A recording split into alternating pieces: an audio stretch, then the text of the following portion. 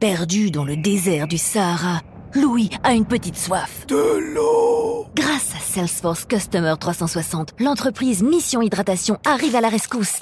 L'équipe marketing lui offre un choix Pétillante et le service client ajoute une touche d'attention.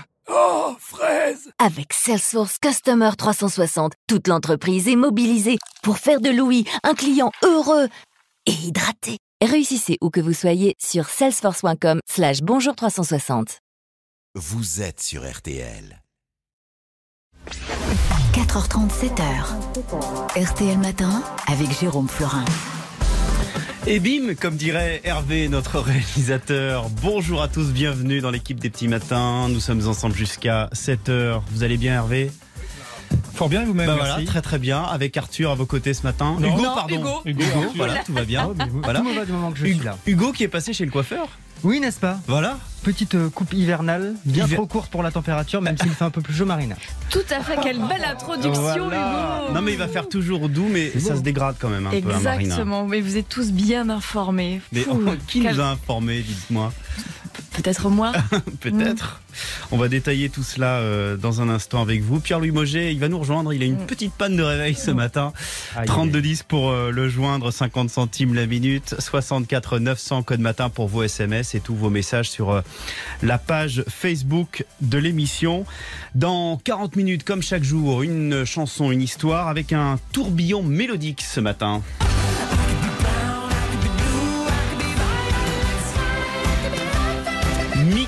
Et cette chanson Grace Kelly en 2007. Pourquoi Grace Kelly? Que vient faire la princesse dans cette histoire? On va tout vous raconter après le journal de 5 heures. Nous sommes ensemble pour 2h30 d'infos. Matinale spéciale aujourd'hui consacrée au prix des carburants. Comment faire baisser la facture? Le gouvernement, vous le savez, doit faire euh, des annonces. Son porte-parole, Gabriel Attal, hier sur euh, RTL, euh, a annoncé une mesure d'aide efficace d'ici la fin de la semaine. Alors, est-ce que ce sera une baisse des taxes? Visiblement, pour l'instant, c'est l'hypothèse qui tient la corde. Ou est-ce que ce sera un, chèque carburant sur le modèle du chèque euh, énergie ou autre chose Pour l'instant, c'est pas encore tout à fait tranché, mais on aimerait savoir si vous, auditeurs, vous ressentez déjà les effets de ces hausses des prix des carburants. Ça commence à peser sur votre budget. Est-ce que vous faites moins le plein? Euh, Est-ce que vous avez besoin de votre voiture tous les jours? On attend vos témoignages au 3210. Dans RTL autour du monde, on ira voir quelle est la situation chez nos voisins en Allemagne, en Italie, en Espagne, en Belgique. Quelle hausse là-bas? Est-ce que les gouvernements ont pris des mesures Lesquelles? On appellera nos correspondants. Rendez-vous 5h45. Et puis à 6h15, les trois questions du petit matin au maire de Plouray dans le Morbihan. Il a créé une station-service communale. Euh, c'est la commune qui gère donc euh, cette euh, station pour suppléer à la disparition des, des pompes privées. Qu'est-ce que ça change? On lui posera la question tout à l'heure, 6h15. Et puis juste avant 7h avec Martial You, on verra que cette flambée des prix de l'essence fait le bonheur de Blablacar. Et oui, le géant du covoiturage retrouve des couleurs et prend sa revanche après la crise Covid. Au programme également, on est bien à 5h50 avec Aline Perraudin qui nous parlera des pommes de terre ce matin. Il paraît que c'est très bon pour la santé. Ah oui, ça m'étonne pas. C'est pour ça qu'on a la patate. Hmm. Oui, j'étais sûre que vous allez me sortir un truc comme ça. Ou la frite. Voilà. on voilà. fait les jeux de mots La maintenant pêche, comme ah ça. bah non, ça marche pas. Non. on fait les jeux de mots maintenant comme ça on n'aura pas à les refaire tout C'est à l'heure. vous allez, vous n'allez pas les refaire Vous me promettez Vous me promettez que vous allez Je- vous retenir non, je ne promets rien. Je ne promets rien, ça peut être plus fort que moi. À suivre aussi les Républicains qui, petit déjeune, ce sera euh, dans le surf de Cyprien Signé après le journal de 6h30. Et les Républicains qui débattent, ou en tout cas qui euh, préparent les débats, ça ce sera avec Aurélie Herbemont juste avant 7h. Nous sommes le mercredi 20 octobre, bonne fête aux Adeline. Le dicton du jour, si octobre s'emplit de vent, du froid, tu pâtiras longtemps. Bon réveil, il est 4h33. Et à la une ce matin, décision imminente donc sur euh, les prix des carburants et l'option qui tient la corde, je l'ai dit, c'est une baisse de la fiscalité qui serait temporaire. Le gouvernement a promis une annonce d'ici la fin de la semaine. Matinale spéciale sur votre radio préférée, chronique, invité, reportage et vous au 3210. La colère des sarkozystes, l'ancien président est convoqué de force à la barre le 2 novembre prochain au procès des sondages de l'Élysée. Il est cité comme témoin protégé par son immunité, mais le tribunal veut l'entendre, quitte à le faire venir par la force publique. L'affaire de la sextape, enfin jugée, le procès s'ouvre tout à l'heure à Versailles. Karim Benzema est poursuivi pour complicité de tentative de chantage contre son ancien coéquipier des Bleus, Mathieu Valbuena. Toutes les candidatures de gauche sont lilliputiennes. Hollande qui le dit ce matin dans les colonnes du Parisien. L'ancien euh, président s'exprime euh, dans le journal à l'occasion de la sortie aujourd'hui de son livre Affronté. Il accuse aussi Emmanuel Macron d'avoir déchiré les Français comme jamais et précise quand même qu'il n'a, je cite, pas de revanche à prendre. La prolongation du pass sanitaire jusqu'à l'été en débat à l'Assemblée. Olivier Véran appelle à ne pas se désarmer. L'opposition dénonce un état d'exception qui devient la norme. Y aura-t-il assez de livres pour Noël? C'est une enquête RTL. Le papier est devenu rare et plus cher, plus 40% pour une tonne. On verra cela avec Laurent Marsic tout à l'heure, son enquête après le journal de 6 heures. Et puis le Paris Saint-Germain s'impose sans briller face à Leipzig. Victoire 3 buts à 2 le PSG garde la tête de son groupe de Ligue des Champions. Ce soir, Lille affronte Séville. C'est sa dernière chance de qualification. RTL Matin. Marina, donc toujours doux, mais moins beau. Exactement, les températures sont extrêmement douces ce matin. On a encore euh, des 8, 9, 10 degrés dans le nord-est, mais ailleurs on dépasse euh, les 10 degrés. On a même jusqu'à 20 degrés là en ce moment à Montpellier. Il fait 18 à Nantes, vous avez 16 à Lille ou encore à Saint-Brieuc. Il fait 15 degrés à Paris. On a 12 à Nevers, 11 à Langres, 10 à Strasbourg. On a un mail de Michel qui est à Vouziers dans les Ardennes où le ciel est légèrement couvert. La température est de 9,7 degrés de côté de vos SMS. Il y a Thierry, Thierry, qui est à Valence et là la température est de 16 degrés. Donc extrême douceur. Cet après-midi, alors les températures vont un peu baisser par rapport à hier, notamment dans le nord, mais ça restera doux pour la saison là aussi, hein, puisque l'on attend 17 degrés à Brest, 18 au Havre, 19 à Lille, 19 à Dijon, à Rouen ou encore à Montélimar, 20 degrés pour Orléans et Metz, 21 à Paris, 21 à Limoges, 21 à Bourges, 22 à Clermont-Ferrand, 24 à Bordeaux, 25 à Toulouse, 26 à Biarritz. Il fera encore doux donc dans le sud-ouest, même si c'est quand même moins doux qu'hier. Juste pour info, hier on a été jusqu'à 31 degrés à Osgore et puis 30 degrés à Cambo-les-Bains ou encore à Abidage. Donc euh, dans le sud-ouest, on a bien dépassé les 30 degrés. C'était assez impressionnant. Il fera encore doux aujourd'hui, un peu moins doux, mais encore doux. Et vous l'avez dit, on change de temps puisqu'on a une perturbation pluvieuse qui va traverser le pays, pluvieuse et venteuse. Elle traverse assez rapidement le nord-ouest. Là, en ce moment, elle se trouve essentiellement sur l'est de la Bretagne, le Cotentin. Elle va finir par toucher toute la Normandie, les Hauts-de-France, les pays de la Loire, l'Île-de-France en cours de matinée. Donc avant que ces pluies n'arrivent, ce sera agréable. Et puis cet après-midi, elle s'étendra de la Champagne-Ardenne à la Lorraine, Bourgogne, centre-Val de Loire, en allant vers le Limousin et la Gironde. Plus on ira vers l'est, plus on ira vers le sud. Vous, vous allez garder un temps sec et ensoleillé. Il y a juste toujours des entrées maritimes et là, elles sont un petit peu plus importantes, ces entrées maritimes, donc des nuages apportés par le vent. Ça touchera la zone qui va du Languedoc au Var et en remontant même jusqu'en moyenne vallée du Rhône. Merci Marina. 31 degrés hier à Osgore. Mm. C'est vraiment exceptionnel. Mm, hein. mm, mm. Ah, je crois qu'en plus on dit Osegor pour ceux qui habitent Oui, là-bas. Osegor. Ouais, Osegor, ouais. C'est très joli Osgore. Ah, Si vous le dites, j'y suis jamais Voilà, allée. Il faut aller autour de, du lac et manger des huîtres, c'est absolument magnifique. Merci Marina. Soyez les bienvenus si vous nous rejoignez euh, sur RTL à 4h37, un seul numéro pour nous joindre et réagir à l'actualité, le 3210. Il grimpe, il grimpe chaque jour un peu plus, ce sont les prix des carburants. Je vous donne deux chiffres. Le diesel était en moyenne à 1,25€ le litre début juin, il est à près de 1,60€ aujourd'hui. Vous ajoutez à cela la hausse des prix du gaz et de l'électricité, ça commence à faire beaucoup. Et à six mois de la présidentielle, le gouvernement cherche la formule pour s'éviter une nouvelle crise des gilets jaunes alors que le thème du pouvoir d'achat est en train de s'imposer dans la campagne. Une mesure efficace sera annoncée d'ici la fin de la semaine. Voilà ce qu'a promis euh, hier Gabriel Attal, le porte-parole du gouvernement sur euh, RTL. Mais c'est vous qu'on a envie d'entendre ce matin euh, dans cette matinale spéciale sur RTL consacrée au prix de l'essence. Comment enrayer cette flambée des prix? Quelle solution aimeriez-vous que le gouvernement choisisse? Un chèque carburant sur le modèle de ce qui existe aujourd'hui euh, dans les Hauts-de-France ou bien une baisse des taxes ou autre chose? Est-ce que vous commencez à partir de ces hausses de prix, plus 2 centimes par litre la semaine dernière en moyenne quand on fait le plein et qu'on a besoin de sa voiture tous les jours? Ça commence à chiffrer. Est-ce que vous avez trouvé des solutions alternatives Le covoiturage, par exemple, alors ce n'est pas possible partout, mais on verra tout à l'heure avec Martial You que Blablacar, qui avait beaucoup souffert du Covid, se frotte les mains en ce moment. Il y a du monde qui veut partager ses trajets. Il y a aussi le bioéthanol, plus écolo et surtout beaucoup moins cher, 70 centimes euh, le litre. Alors certes, il faut installer un boîtier qui coûte euh, autour de 800 euh, euh, ou 1000 euros, mais quand on roule beaucoup, euh, ça permet de, de, de, faire des économies. Il y a aussi les comparateurs de prix hein, sur le site du gouvernement notamment. Est-ce que vous êtes prêt euh, à faire quelques kilomètres de plus pour payer un peu moins cher? Vous êtes comme chaque jour nos premiers témoins. On vous attend au standard au 3210. Je te pardonne. Je ne vous parle pas, Marina. hein. C'est le titre Bah, de j'ai la rien à me faire chanson. pardonner en plus. C'est le titre de la chanson de Oshi que nous écoutons maintenant. Bon réveil à tous sur RTL. Depuis j'ai comme un poison dans les veines. Y a mon âme coincée sous les verres. Et dans ma bouche, un goût amer. Je rêve seule avec mes acouphènes. T'as mis mon cœur en quarantaine. Mon amour, tu m'as mise à terre. Aveugle et sourde et sans repère. Je te pardonne pour mon cœur fracassé. Je te pardonne pour tout ce que tu m'as fait. Je te pardonne d'avoir tout niqué. Je te pardonne.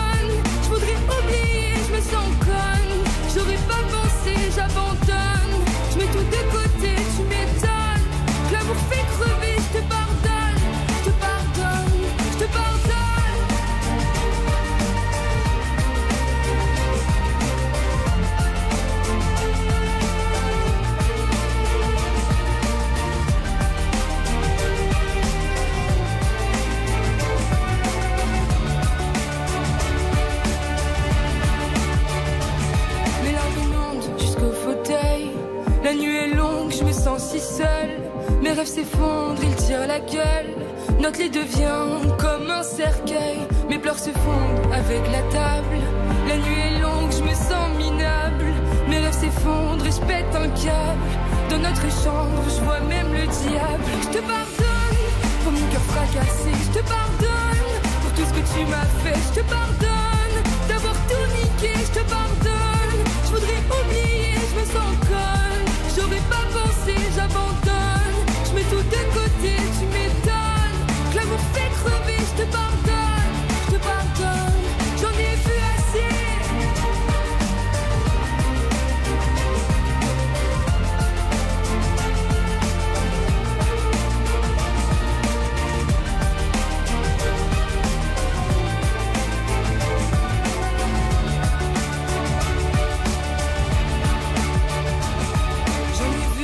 Les couleurs. J'ai broyé bien plus que du noir sur la palette de la douleur. Toutes les variantes du désespoir. Y'a toi qui peux me consoler. Pourtant c'est toi qui m'as blessé. C'est plus pareil, je nous vois flou. Je sens son odeur sur tes genoux. Je suis comme un soldat fusillé. J'ai pas vu l'ennemi arriver. Mais j'ai appris à prendre les coups. Je compte bien me battre jusqu'au bout. Je te pardonne, on va tout reconstruire. Je te pardonne,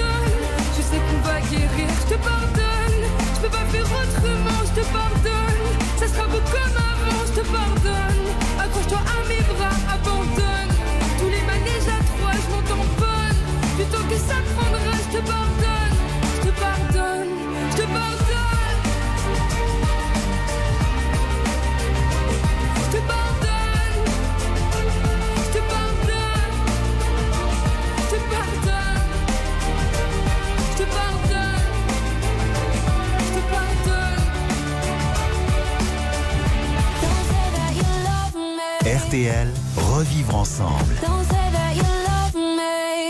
La France qui se lève tôt. La France qui se lève tôt. Et nous allons retrouver, euh, c'est quasiment un voisin hein, finalement, puisqu'il est dans Paris, dans le 16e arrondissement. Nous allons discuter avec Isaac ce matin, Marina. Oui, Isaac a 20 ans et il est mannequin. Il va nous parler un petit peu de sa vie de jeune mannequin. Bonjour Isaac. Bonjour Isaac. Bonjour tout le monde, ou dois-je dire peut-être bonne nuit, parce que là je suis entre deux, un peu étrange. C'est vrai Alors- mais Pourquoi entre deux Ah, bah, euh, je mais attendez, je suis un jet solag là. Alors bonsoir RTL déjà, c'est quand même énorme, j'adore l'idée, c'est top. hein. Parce qu'en fait, tout simplement pour la seule et bonne raison, que de base, moi, en fait, j'étais un peu bancal. Dans l'idée, hier, je me couche très tard, et là, on me dit qu'il faut que je me couche tard également. Donc moi, je me suis dit, oh, bah, je vais pas dormir, et puis finalement, j'ai craqué il y a une demi-heure pour finalement me relever il y a 20 minutes. Quoi. Donc vous vous êtes endormi vers 4 heures, c'est ça? Là, 4 heures, ouais, je viens d'ouvrir l'œil, et me voilà déjà à l'antenne. J'adore l'idée. Bah oui. Nous aussi. Et en plus, avec votre accent, ça passe super bien. Ouais, alors je vais pas vous mentir, cette info, il est, il est- il est de composition totale. Ah oui, parce que vous êtes de Nogent-le-Roi. Il n'y a pas vraiment, Voilà. euh, il y a pas vraiment euh, d'accent là-bas, Donc vous êtes mannequin, un petit peu acteur et humoriste, je le sens. Voilà, totalement. Non mais attendez, Isaac, vous, vous feignez d'avoir un accent? Oui, bien sûr. Ouais, je, je, je, je, je, fais- je suis désolé, c'est pas ce qui m'a pris. J'ai l'impression de vous avoir déjà menti alors qu'on se connaît pas. Hein, comme quoi, tout va déjà très très vite. Hein.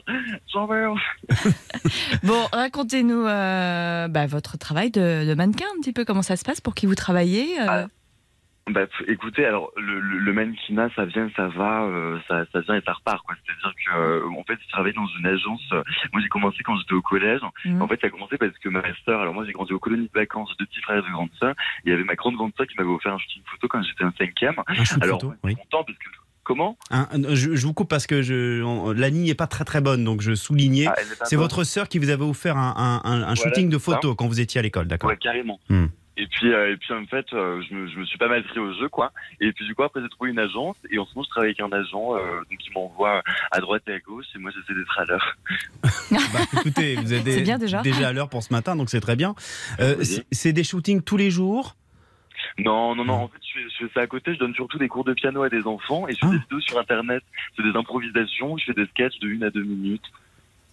Alors oui, effectivement, j'ai vu que vous faisiez des, des sketchs sur TikTok, sur le réseau Ouais, social. Voilà. Mais, Mais- quoi, des, des vidéos, euh, qu'est-ce que c'est euh, C'est humoristique C'est euh, par rapport à votre métier On peut y aller franchement, ça a un caractère humoristique plus que jamais. Euh, le but c'est de rire et, euh, et, et, et- et de vivre, ouais, sans jamais oublier de respirer évidemment. C'est des petits personnages que je rencontre, euh, je sais pas, dans les jobs que j'ai fait, Oui. ou dans la vie, ou dans le métro, et, euh, et euh, ils racontent un truc dans une improvisation que je fais le matin souvent après 30 cafés et 70 clopes, et puis je m'installe par terre dans mon petit 10 mètres carrés histoire de poser mon petit cucu sur le parquet, et puis là je me lance dans une impro, et puis on voit ce qui sort, et puis je poste si jamais c'est bon, ou du moins si ça me plaît. Pour quelqu'un qui a dormi une demi-heure, vous êtes en forme quand même. Ouais. hein. Vous avez déjà pris 70 cafés là. Oh, même pas, même pas. Là, franchement, là, je suis en train de mordre l'oreiller surtout. Donc vous faites de tout, vous faites du mannequinat, vous donnez des cours de piano et vous êtes humoriste sur les réseaux sociaux. Écoutez, je pense qu'il faut faire ce qu'on peut avec ce qu'on a. Là. Vous voyez, on peut pas se contenter de rien faire. La mode, que j'ai une... Oh, écoutez, il y a la voisine qui toque. Je suis comme je suis RTL. Me payons. Non, mais vous voyez, c'est-à-dire qu'il y a un moment où, où moi, ça m'angoisse dès que j'ai une minute où je fais rien ou quoi que ce soit. Oui. J'essaie d'occuper un maximum le temps, sinon on se fait chier comme la. Bah, bien sûr, donc vous avez des journées bien remplies.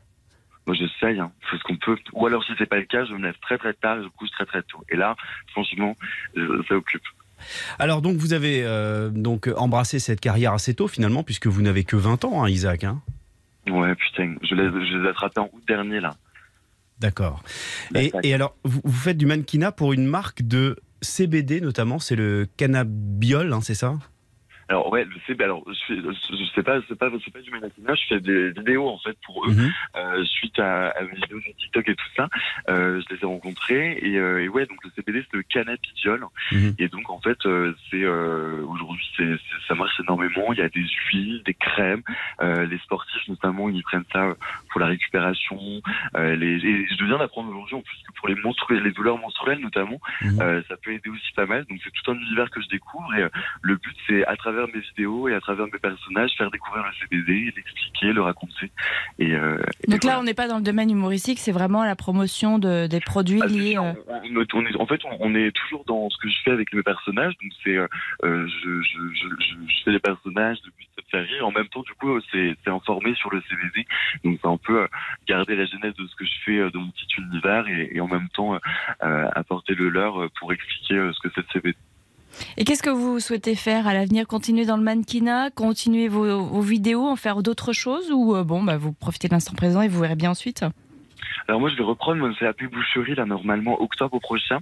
Non, ça n'est pas vrai, bien sûr. hein. Non, non, moi, je- moi, j'adorerais faire ma vie euh, en, en pouvoir. euh, enfin, moi, j'adorerais être moi et puis pouvoir faire ma vie comme ça. Si je pouvais avoir ça, ça me suffirait amplement. Et sinon, moi, je voudrais, je voudrais pouvoir jouer euh, sur scène ou au cinéma. Hmm. Rêve. Est-ce que vous avez une chanson euh, préférée, euh, Isaac Ah ouais, grave. Ouais, grave. Laquelle C'est chagrin, d'amour, chacun sait ce qui lui plaît. Ça, ça de matin, peu importe l'heure où je me réveille, ça me met dedans. Eh ben, on va l'écouter avec vous. Merci beaucoup, euh, Isaac. On vous souhaite une belle journée. Vous allez quoi? Vous allez vous rendormir là? À la plus que jamais, ouais. Je D'accord. vais même peut-être même réveiller, ouais. Très bien. Bah, allez, bah, bon dodo en tout cas. Belle journée. Vous avez un, shoot- un shooting prévu aujourd'hui? Alors j'en ai un après-demain. D'accord. C'est une pleine préparation, ouais. Bon bah très bien, bah, bonne préparation Isaac, à bientôt. Et bon dodo et on, décon- on- on écoute chacun fait ce qui lui plaît de chagrin d'amour. C'était dans les années, au début des années 80. Merci Isaac, bonne journée. Ça, bonne journée. Merci.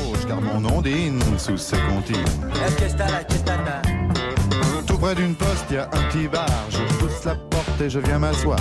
Trois, quatre patibulaires, tape le carton dans les water. Toute seule au bar, dans un coin noir, une blonde platine sirote sa fille. Elle dit champagne, je l'accompagne, elle dit 50. Voilà le choix d'Isaac. Si vous êtes un lefto, si euh, vous êtes euh, installé à l'étranger dans le cadre de votre euh, carrière ou choix, euh, choix de, de vie, n'hésitez pas à nous laisser un message sur la page Facebook de l'émission ou par mail rtl petit matin à rtl.fr. Bon réveil sur RTL avec Jérôme Florin. À 4h50, l'histoire qui réveille avec vous euh, Pierre-Louis Moget, direction les Hauts-de-France. Ce matin, où un maire a décidé de porter plainte après d'étranges appels anonymes. Qui en veut à Alan Turpin, le maire de la petite commune d'Andre dans le Pas-de-Calais? Élu en juin dernier après la démission du maire, il dénonce depuis plusieurs années des attaques contre sa personne, déjà victime de graffitis sur sa maison, de rayures sur son véhicule et même d'une agression pendant une kermesse. C'est en mai 2020, alors qu'il n'était que candidat à la mairie, que ce harcèlement quotidien a pris une toute autre tournure. Alors que lui est-il arrivé? Eh bien Marina, lorsqu'il a commencé sa campagne électorale, l'élu recevait très régulièrement des appels anonymes. Écoute-moi, quand je t'attraperai, je me servirai de ta tête comme bidon et je repeindrai ma maison avec ta cigarette. Des appels qui restaient la plupart du temps silencieux, mais il arrivait régulièrement que la personne derrière le téléphone se mette à rôter très longuement. Alors le maire, très agacé, a enregistré les appels et messages vocaux. Dans la foulée, il a décidé de porter plainte contre X. Et est-ce que l'interlocuteur mystère a été démasqué? Eh bien, la gendarmerie n'a pas eu à enquêter très longtemps. hein. Le harceleur a passé un cap en demandant un rendez-vous avec le maire. Et Alain Turpin a eu la désagréable surprise de mettre un visage sur le roteur anonyme. Il s'agissait du conjoint d'une élue de l'opposition. Alors, vous imaginez bien que l'entrevue devait être tendue. L'affaire a même failli prendre un tournant dramatique, hein, puisque les gendarmes ont dû intervenir pour faire quitter la mairie à l'auteur des faits. Alors pourquoi ces appels hein, Ça, on ne le sait pas. Les raisons de ce harcèlement n'ont pas été rendues publiques. Simple plaisanterie ou réel acharnement envers lui. Une chose est sûre, le maire d'Andre ne compte pas en rester là. Il a de nouveau porté plainte et a fait écouter les enregistrements de ses rôles au conseil municipal Non. la semaine dernière, si si, en demandant à l'opposition si elle cautionnait ce genre de comportement. Ah non, mais là, c'est quand même dégueu. Ah, nul doute qu'il y aura de l'eau dans le gaz aux prochaines réunions. Ah, ce n'est pas tous les jours facile la vie d'élu, hein, en espérant pour lui que ce Rototo Gate s'arrête. Je pensais que vous alliez nous faire écouter euh, Ah bah non, les non, extraits non, qu'il avait diffusés hein. au Non, conseil bah non, on va municipal. éviter de bon matin Non mais quand déjà, même. déjà on imagine voilà, merci beaucoup Pierre-Louis Moget, l'histoire qui réveille. Vous, vous avez eu du mal à vous réveiller ce matin. hein. Oui, je m'excuse d'ailleurs auprès de nos auditeurs. Bah ça, non, mais ça peut arriver. Voilà, vous c'est êtes- arrivé ce matin, mercredi. C'est pour ça que vous n'étiez pas là pour nous dire bonjour, vos J'en étais fort triste, mais vous aviez raison, Marina. Le mercredi, effectivement, c'est le jour le plus la plus dur de la semaine. Ouais. C'est un jour vrai. difficile. Merci Pierre-Louis. À 9h moins quart tout à l'heure, comme chaque jour, dans la matinale, Div Calvi, Laurent, Gérard et Jade.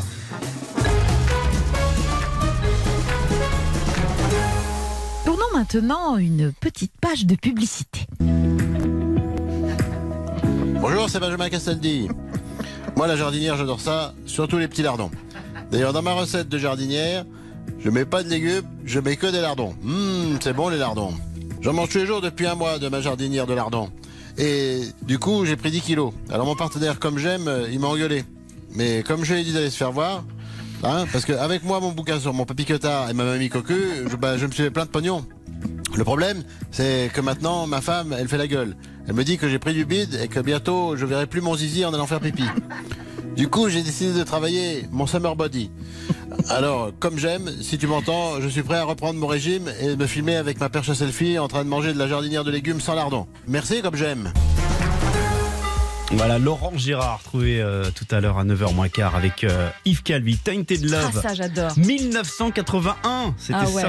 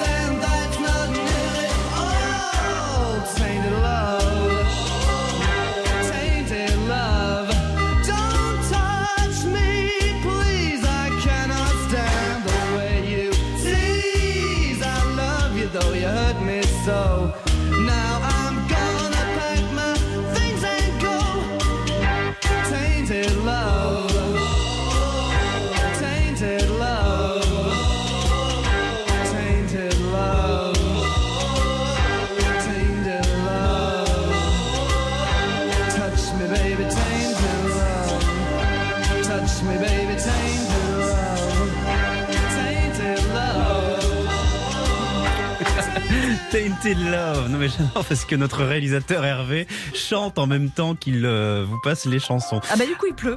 Ah bah voilà. voilà. Ça y est. Il pleut mais il fait encore très doux Marina. Ah oui, euh, là j'ai un SMS d'un auditeur qui est, euh, c'est Lionel. Il est à Bayonne, 23 degrés, vent de sud. En revanche, notre fidèle Pascal, qui est à Corbigny dans la Nièvre, là il a un ciel dégagé, il n'a que 11 degrés. En même temps, 11 degrés à cette époque de l'année, ça va encore. hein. C'est vrai que les températures sont co- encore cette nuit extrêmement douces, puisque hier il a fait chaud dans le sud-ouest, on a dépassé les 30 degrés. 12 et 24, 25 degrés là ce matin.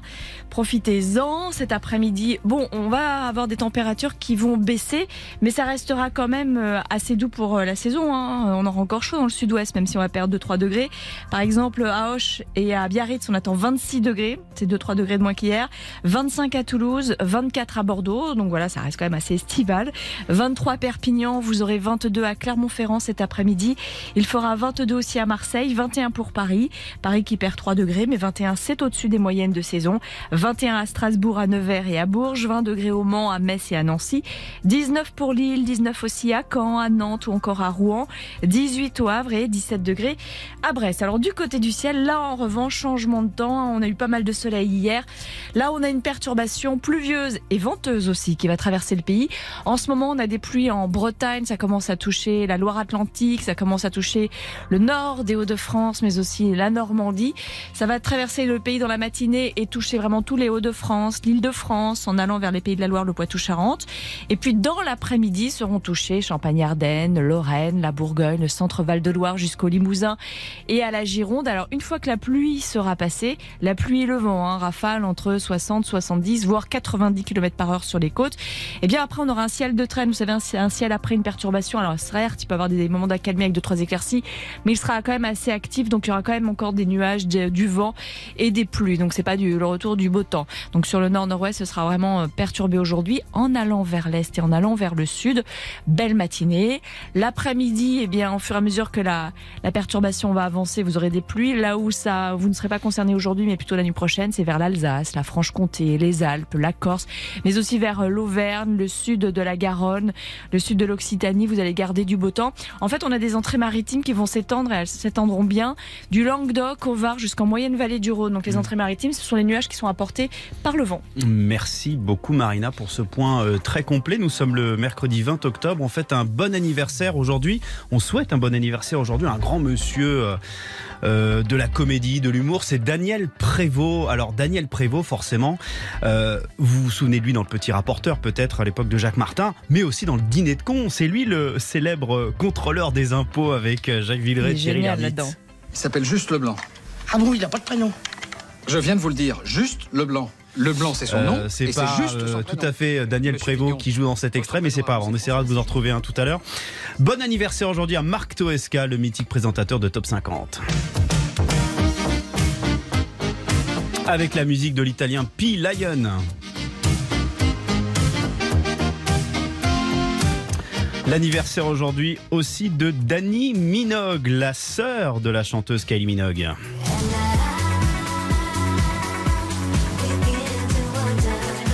Il y a du talent dans la famille.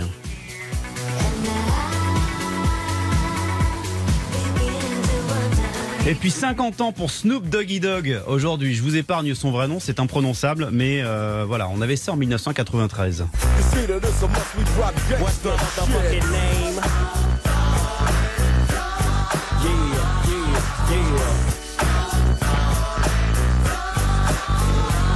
Allez, bon réveil à tous sur RTL. On est ravis de vous accompagner. Il est pile 5 heures.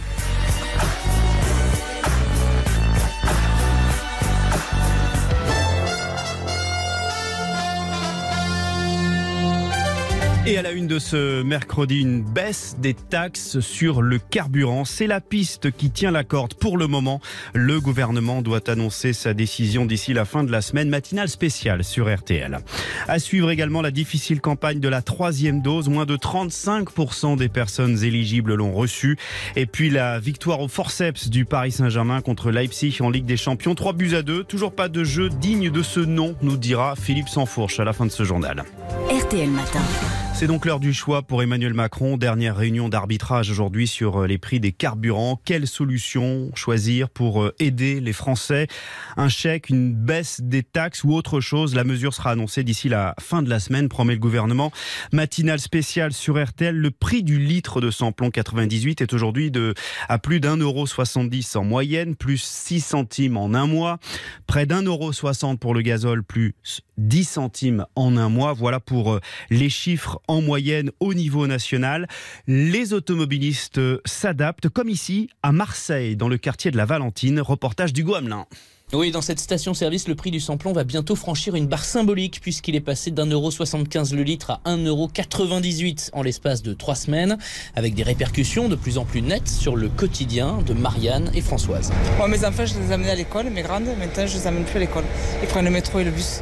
Je suis en plein mutation professionnelle et que le choix va être de vivre pas loin de mon lieu de travail et de faire plutôt le choix d'un tout à pied plutôt que d'être loin à la campagne. Réduire le coût des trajets habituels domicile-travail en ouvrant, par exemple, les portes de son véhicule à d'autres travailleurs, d'autres salariés qui ont la même destination. C'est la tendance que l'on observe chez Blablacar.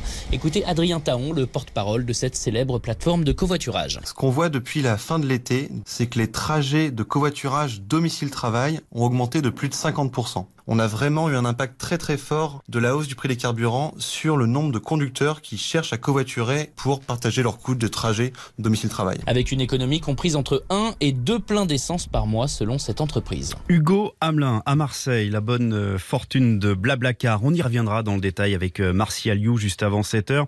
Et vous, comment gérez-vous cette hausse des prix? Est-ce que vous avez choisi aussi euh, le covoiturage? Est-ce que vous réduisez vos pleins? Qu'attendez-vous comme aide de la part du gouvernement? Un chèque carburant ciblé sur le modèle de ce qui existe aujourd'hui dans les Hauts-de-France, par exemple, ou une baisse des taxes? On vous attend au standard au 3210, matinale spéciale sur RTL. Et après 5h30, RTL autour du monde chez nos voisins européens. On verra euh, en Allemagne, en Italie, en Belgique ou en Espagne où, sont, où en sont les, les prix euh, du, du samplon et quelles sont les mesures qu'ont adoptées les gouvernements de ces différents pays.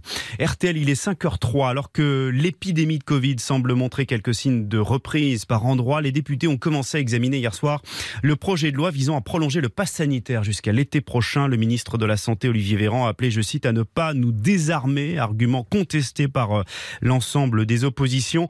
L'autre inquiétude du gouvernement, elle est sur la troisième dose de vaccin. Ça ne va pas assez vite, Odile Pouget. Oui, cela progresse assez lentement, même si le ministère de la Santé se félicite d'un record. C'était vendredi dernier, avec 100 000 rappels en une seule journée.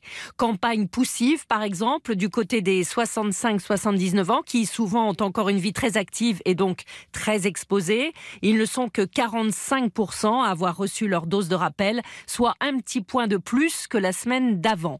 Idem pour les plus de 80 ans, parmi les plus fragiles, moins d'un sur deux a eu son rappel. Seuls les résidents des EHPAD ont une couverture vaccinale plus large. On en est à 54% contre 50% la première semaine d'octobre. Quant aux petits millions de patients vaccinés avec la dose unique de Janssen, ils sont très peu, 18% seulement, à avoir reçu leur rappel avec de l'ARN messager, injection qui est à faire 4 semaines après pour être bien protégé. Odile Pouget et notez que le responsable de l'activité vaccin de Pfizer France sera l'invité d'Yves Calvi tout à l'heure sur RTL à 8h20. 2020. Un ancien président forcé à comparaître devant le tribunal, Nicolas Sarkozy, cité comme témoin dans l'affaire des sondages de l'Élysée, a reçu euh, hier l'ordre de se présenter au procès le 2 novembre prochain. Bonjour Thomas Proutot. Bonjour. Alors ça veut dire quoi concrètement Qu'il pourrait venir encadrer de policiers? Alors, la décision du tribunal est explicite. À l'audience, le président de la Chambre a ordonné que Nicolas Sarkozy soit amené, je cite, par la force publique le 2 novembre prochain. La disposition est prévue par le Code pénal lorsqu'un témoin refuse de comparaître. Et c'est exactement ce qu'a fait le chef de l'État dans une lettre lue par euh, le tribunal lundi au début de l'audience. Mais désormais, deux options se présentent. Soit Nicolas Sarkozy fait savoir par son avocat qu'il a changé d'avis et qu'il sera bien présent. Dans ce cas-là, les policiers ne devraient pas être amené à se déplacer, soit l'ancien président campe sur sa position, c'est-à-dire qu'il refuse de venir ou ne dit rien. Le parquet national financier, qui requiert au procès, n'aura alors d'autre choix que d'envoyer des policiers le chercher. Thomas Proutot. À Versailles, le coup d'envoi enfin du procès dit de la sextape, une affaire qui traîne en longueur. Karim Benzema est jugé pour euh, complicité de tentative de chantage sur son ancien coéquipier des Bleus, Mathieu Valbuena. 4 à 8 mois de prison avec sursis requis hier contre les pompiers euh, jugé pour avoir filmé un, un, jeune homme agonisant qui s'était empalé sur un poteau après avoir sauté du sixième étage de son immeuble à Paris. Ils avaient diffusé la vidéo sur les réseaux sociaux. RTL, il est 5h06, c'est l'enquête RTL du jour. La pénurie due à la reprise post-Covid touche aussi les imprimeurs. Il manque de pâte à papier depuis la fin du printemps. Certains euh, livres sont épuisés ou réédités en moindre quantité. Dans cette euh, librairie parisienne, on fait des réserves en espérant éviter les ruptures de stock. Reportage de Nathan Bocard. Dans un bureau au sous-sol de sa librairie, Anne-Laure Vial a entassé les romans et les bandes dessinées, faute de place dans sa réserve. Euh, voilà, là c'est un endroit où on a mis des livres en pile pour tenir jusqu'à Noël. Normalement, à l'approche de Noël, elle peut toujours commander les livres épuisés au dernier moment, mais cette année, elle a préféré acheter en masse dès l'été par peur de ne pas les recevoir à temps. En général, une réimpression, ça va très vite, on l'a en quelques jours. Là, compte tenu du fait qu'il n'y ait pas de papier, ça peut mettre euh, six semaines, parce qu'on attend le papier. Donc on doit changer complètement euh, notre approche, essayer d'identifier ces livres et d'acheter en avance, en fait, pour jusqu'à Noël. Là, vous avez quand même prévu le stock euh, suffisant pour l'instant. Bah, on espère. et oui, car malgré ces stocks impressionnants, certaines inquiétudes persistent. Il y a des livres qu'on ne va pas identifier et qui seront en rupture, c'est sûr. Et il y a la question des prêts littéraires. Il faut absolument que les prêts littéraires ait assez de papier pour le Goncourt, notamment. Ça, c'est important. Mais les éditeurs se veulent rassurants. La pénurie ne devrait pas concerner les prix comme le Goncourt. Un stock de papier est systématiquement mis de côté pour les finalistes. Reportage signé Nathan Bocard. Le papier plus rare et donc plus cher, plus 40% pour euh, une tonne. Toutes les informations de Laurent Marsic à retrouver après le journal de 6 heures. En football, contrat rempli pour le Paris Saint-Germain qui s'est imposé 3 buts à 2 face aux Allemands de Leipzig au Parc des Princes grâce à un doublé de Messi et un but de Mbappé. Paris garde la tête de son groupe de Ligue des Champions, mais pour la manière, on repassera. Les hommes de Pochettino ont été malmenés et une fois encore, Philippe Sansfourche malgré les moyens considérables investis dans cette équipe, on n'a pas vu un PSG des grands soirs. Hein. Oui, ça passe encore une fois ric-rac, mais ça passe pour ce PSG continuellement sauvé par ses stars sur des exploits individuels. Alors que l'effectif a été construit pour briller, c'est dans la douleur que les victoires se forgent.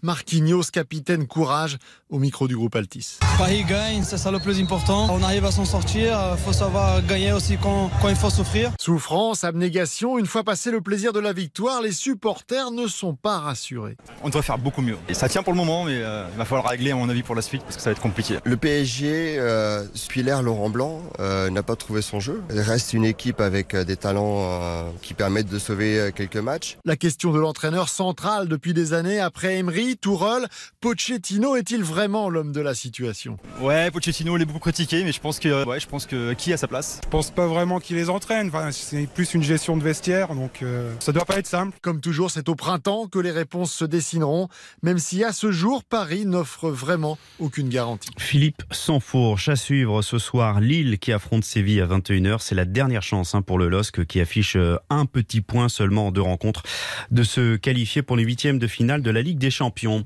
Et puis la, la flamme olympique est arrivée cette nuit à Pékin. Elle avait été euh, allumée lundi à Athènes. Les JO d'hiver de Pékin doivent accueillir près de 3000 athlètes du monde entier à partir du 4 février prochain.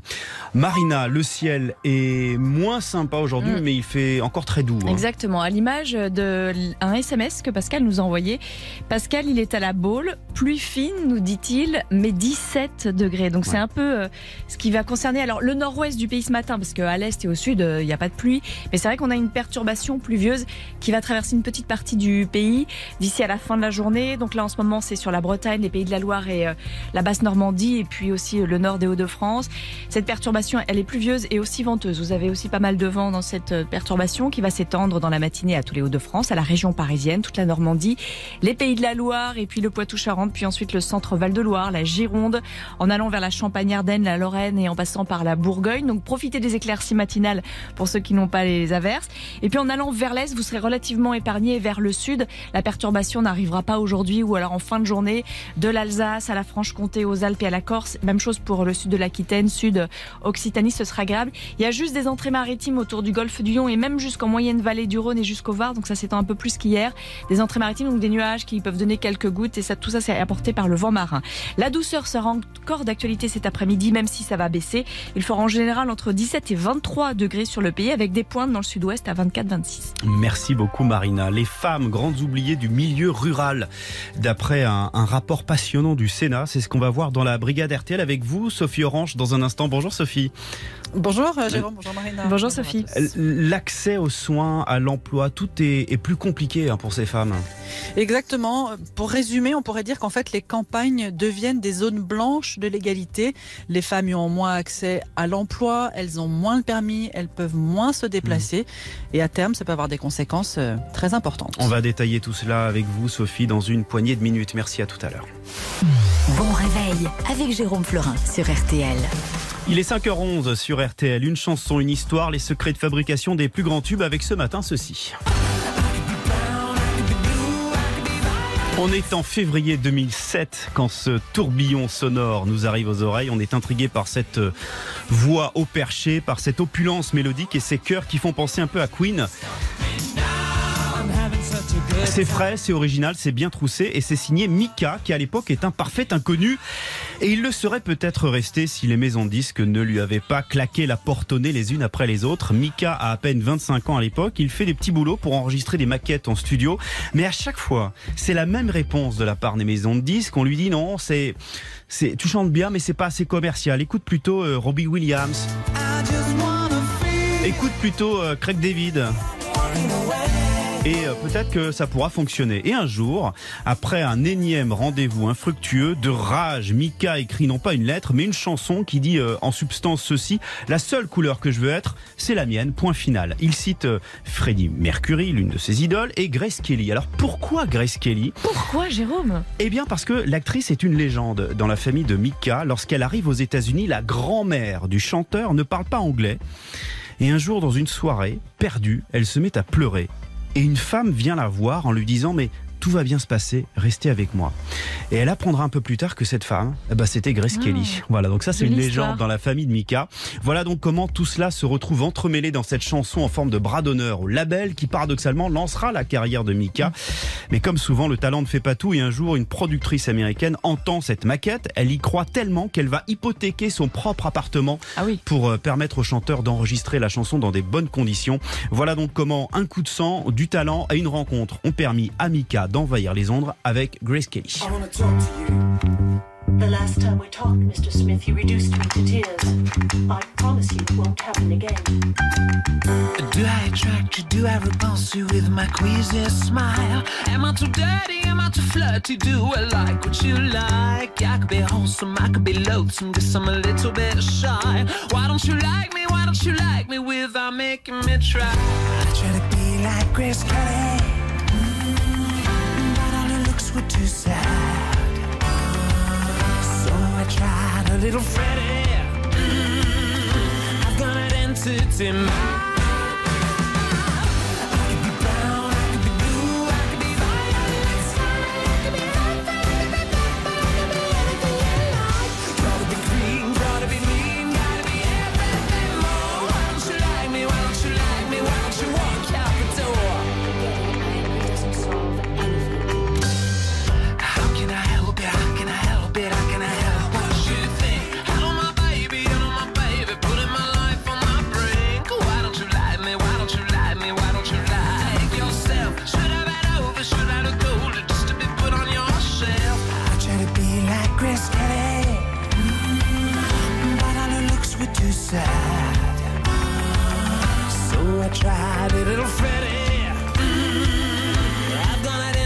it's.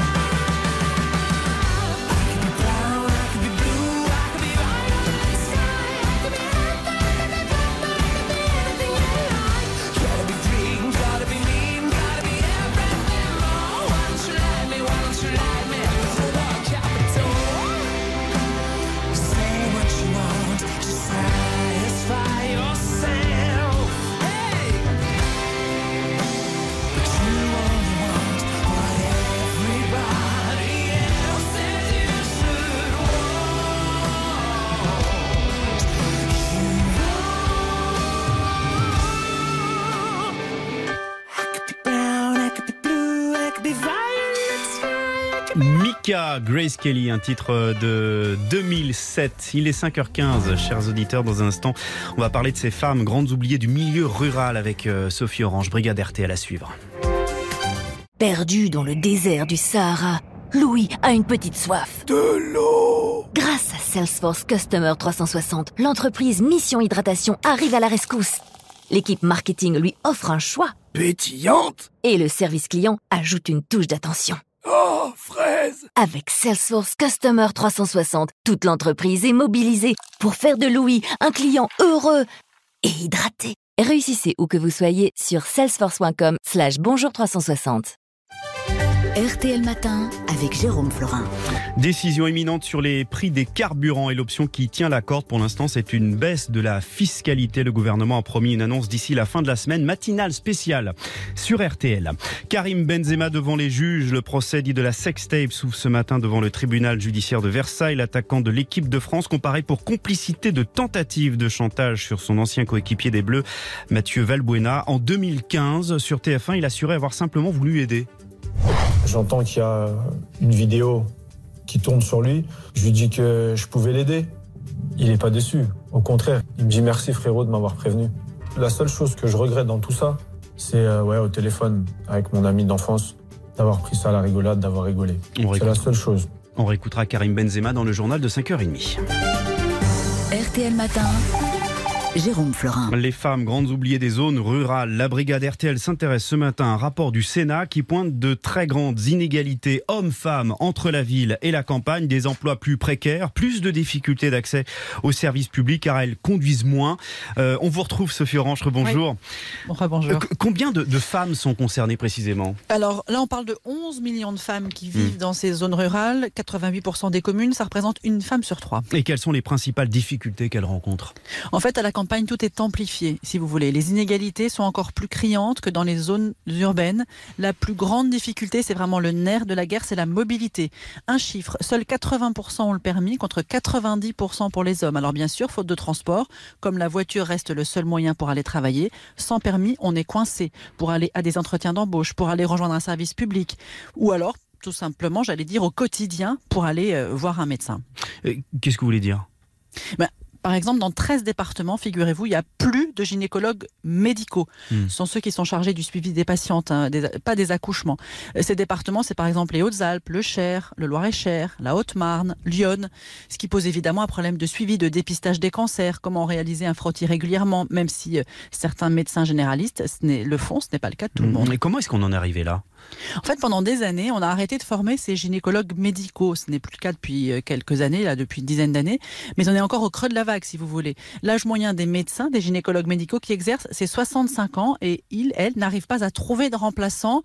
Pour la rentrée de 2021, 84 postes seulement ont été ouverts pour les gynécologues médicaux. En plus, désormais, ce sont que des femmes à 100% qui choisissent cette spécialité.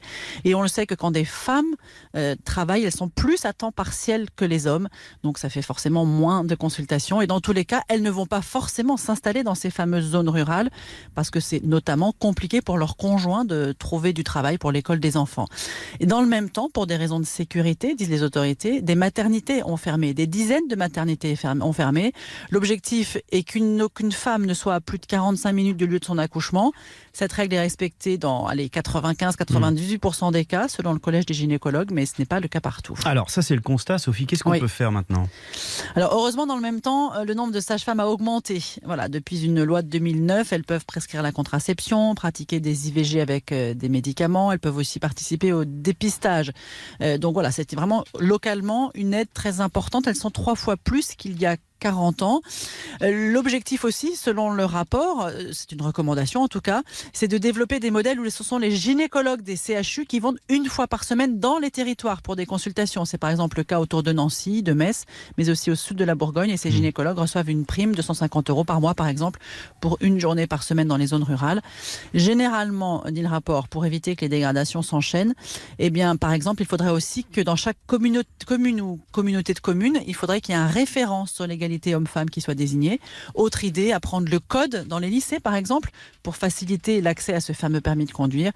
Et puis aussi, instaurer la parité dans les conseils municipaux, dans les communes de moins de 1000 habitants, c'est pas le cas aujourd'hui, pour que les femmes soient aux commandes, prennent les décisions et pour qu'elles ne soient plus les oubliées de Mm. ces zones rurales. Merci Sophie Orange en direct Brigade RTL. Il est 5h20. Vous vivez l'actualité Venez la commenter sur RTL. Et vous vivez directement euh, la hausse des prix des carburants matinale spéciale sur RTL, alors que le gouvernement doit annoncer euh, une mesure efficace d'ici la fin de la semaine. Efficace, c'était le, le terme employé hier sur notre antenne par Gabriel Attal, le porte-parole du gouvernement. Et on va en discuter avec Elisabeth. Elisabeth, elle habite Nantes. Bonjour Elisabeth. Bonjour Elisabeth. Bonjour, bonjour désolé, j'ai j'ai un rhume, j'ai du mal à parler. Ah, mais c'est pas. Mais c'est pas grave. Je vois, je vois Nantes, mais après je vois Maine-et-Loire. que Je comprends pas. Nantes, c'est la Loire-Atlantique. Oui, oui je- en fait, je suis dans la région euh, saumuroise. D'accord. D'accord. Alors, est-ce que vous euh, êtes directement impacté par la hausse des prix des carburants? Est-ce Oui. que vous avez besoin de prendre, Elisabeth, votre voiture tous les jours? Mais oui, pour aller travailler, je fais à peu près euh, 30 km pour aller travailler. Ça me fait 60 km par jour parce qu'il n'y a, pas- il y a pas de gare hein, dans mon coin, c'est très rural. Et, euh, et voilà, quoi, il n'y a pas de bus et ça me fait un, c'est, c'est un coût énorme. En- moi, ce que je ne comprends pas, c'est pourquoi ça augmente tout le temps comme ça. Je veux dire, euh, bah, ça fait quand même un peu plus de 300 euros par mois quand même de, de coût. Euh, oui, voilà. Alors, Donc 60 km par jour. Vous avez réussi à, à- à chiffrer l'augmentation en, en nombre d'euros. Ah bah oui. Ouais, en, sur quoi? Sur le, le- le dernier mois, par exemple, vous payez combien en Ben, plus? oui, parce que, ben, écoutez, moi, je suis à peu près à une centaine d'euros en plus. En plus, ah oui. Oui, c'est hallucinant. Et, et c'est pas normal. Qu'est-ce que vous normal. souhaiteriez, Elisabeth, que le gouvernement annonce? Un, un chèque carburant, une baisse des taxes? Écoutez, pardon, un, un chèque carburant, je trouve pas ça équitable. Mhm. Parce que, je veux dire par là que, euh, je vais être un peu méchante, mais en classe moyenne, euh, nous, on perçoit rien. Mhm. Donc on paye tout le temps et, euh, et je pense qu'en zone urbaine, en zone urbaine, ils n'ont pas besoin de chèques. Hein, je suis désolée, il y a les bus, il y a, il y a tout ça, il y a, il y a le métro, etc. Et les gares. En zone rurale, euh, très beaucoup de gens travaillent de classe, euh, peu importe qu'elle soit moyenne ou pas, mais en attendant, ce serait pas équitable, je pense. Donc la baisse Voilà. des taxes, elle, elle touchera tout le monde euh, également. La baisse des taxes, ce serait une solution la plus simple. Mm. Maintenant, est-ce qu'on a les moyens de baisser cette taxe? Je ne sais pas. Eh bien, écoutez, c'est euh, décidé euh, aujourd'hui, hein, selon euh, nos dernières informations. Donc, l'annonce est imminente.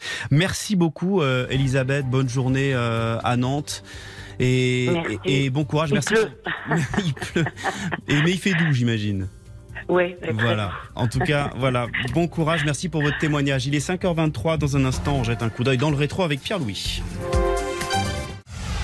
4h30, 7h, RTL Matin. Avec Jérôme Florin. Nous sommes le mercredi 20 octobre et comme tous les jours, on remonte le temps avec Pierre-Louis Moget.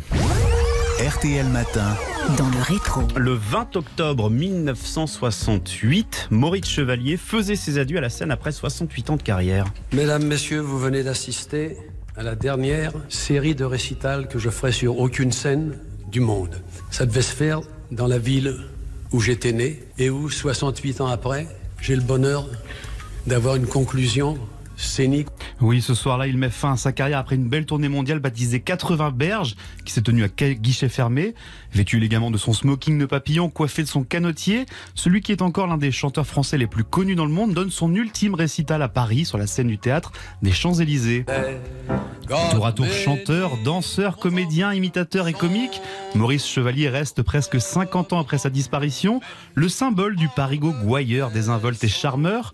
Cet enfant de Ménilmontant deviendra, pendant la période des années folles, la coqueluche du tout Paris en triomphant dans des opérettes à succès. Puis Hollywood va lui ouvrir ses portes, et c'est son talent d'acteur qui marquera ses années américaines. L'artiste poursuit sa brillante carrière en France et aux États-Unis, entre revues et spectacles dans des salles combles, où les spectateurs viennent applaudir ses plus grands succès tels que Prosper Yop la Boom, Ma Pomme ou encore son dernier enregistrement, le générique du dessin animé Les Aristochats. Quel chouchou Ah oui, c'est vrai, c'était Maurice Chevalier.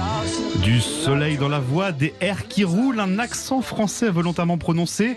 C'est tout ça, Maurice Chevalier, véritable star international de son vivant.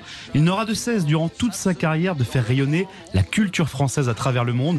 Pas étonnant hein, que l'émotion fut si forte ce soir du 20 octobre 68. Still, you wouldn't change it for a sack of gold. Let's go on with the show. Grâce à vous, messieurs, dames. Grâce à vous et merci. Merci, monsieur Chevalier. Bon, Pierre-Louis, c'est également un 20 octobre en 1993 qu'un véritable block- blockbuster, ah là c'est anglais, faut pas me dire ça, arrivait dans les cinémas français. Vous avez reconnu la musique Jurassic Park, le film de Steven Spielberg, fête le 28e anniversaire de sa sortie française aujourd'hui. Alors pour les quelques personnes euh, qui n'auraient jamais vu le film, hein, l'histoire nous entraîne aux côtés de John Hammond, un milliardaire excentrique qui a décidé de cloner des dinosaures et de les faire vivre dans un parc à thème. Mais certains réussiront à se libérer de leurs enclos. Jurassic Park, c'est un film impressionnant hein, pour l'époque, utilisant énormément d'animation électronique et d'effets spéciaux. Pour réaliser les cris terrifiants des dinosaures, Spielberg a fait appel à un designer sonore qui a mélangé des enregistrements d'animaux bien vivants. Par exemple, pour le cri des vélociraptors, vous entendez une oie, un dauphin et des tortues en train de se reproduire. Ah oui. Voilà. Donc, le film est un énorme carton. hein. Il génère plus d'un milliard de dollars de recettes et devient le plus grand succès du box-office mondial jusqu'en 98. La chanson du jour. Tout va bien.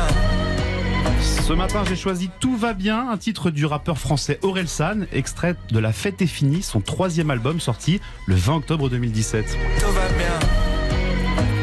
Cette chanson, Aurel San raconte les tragédies de notre monde moderne en s'adressant à un enfant.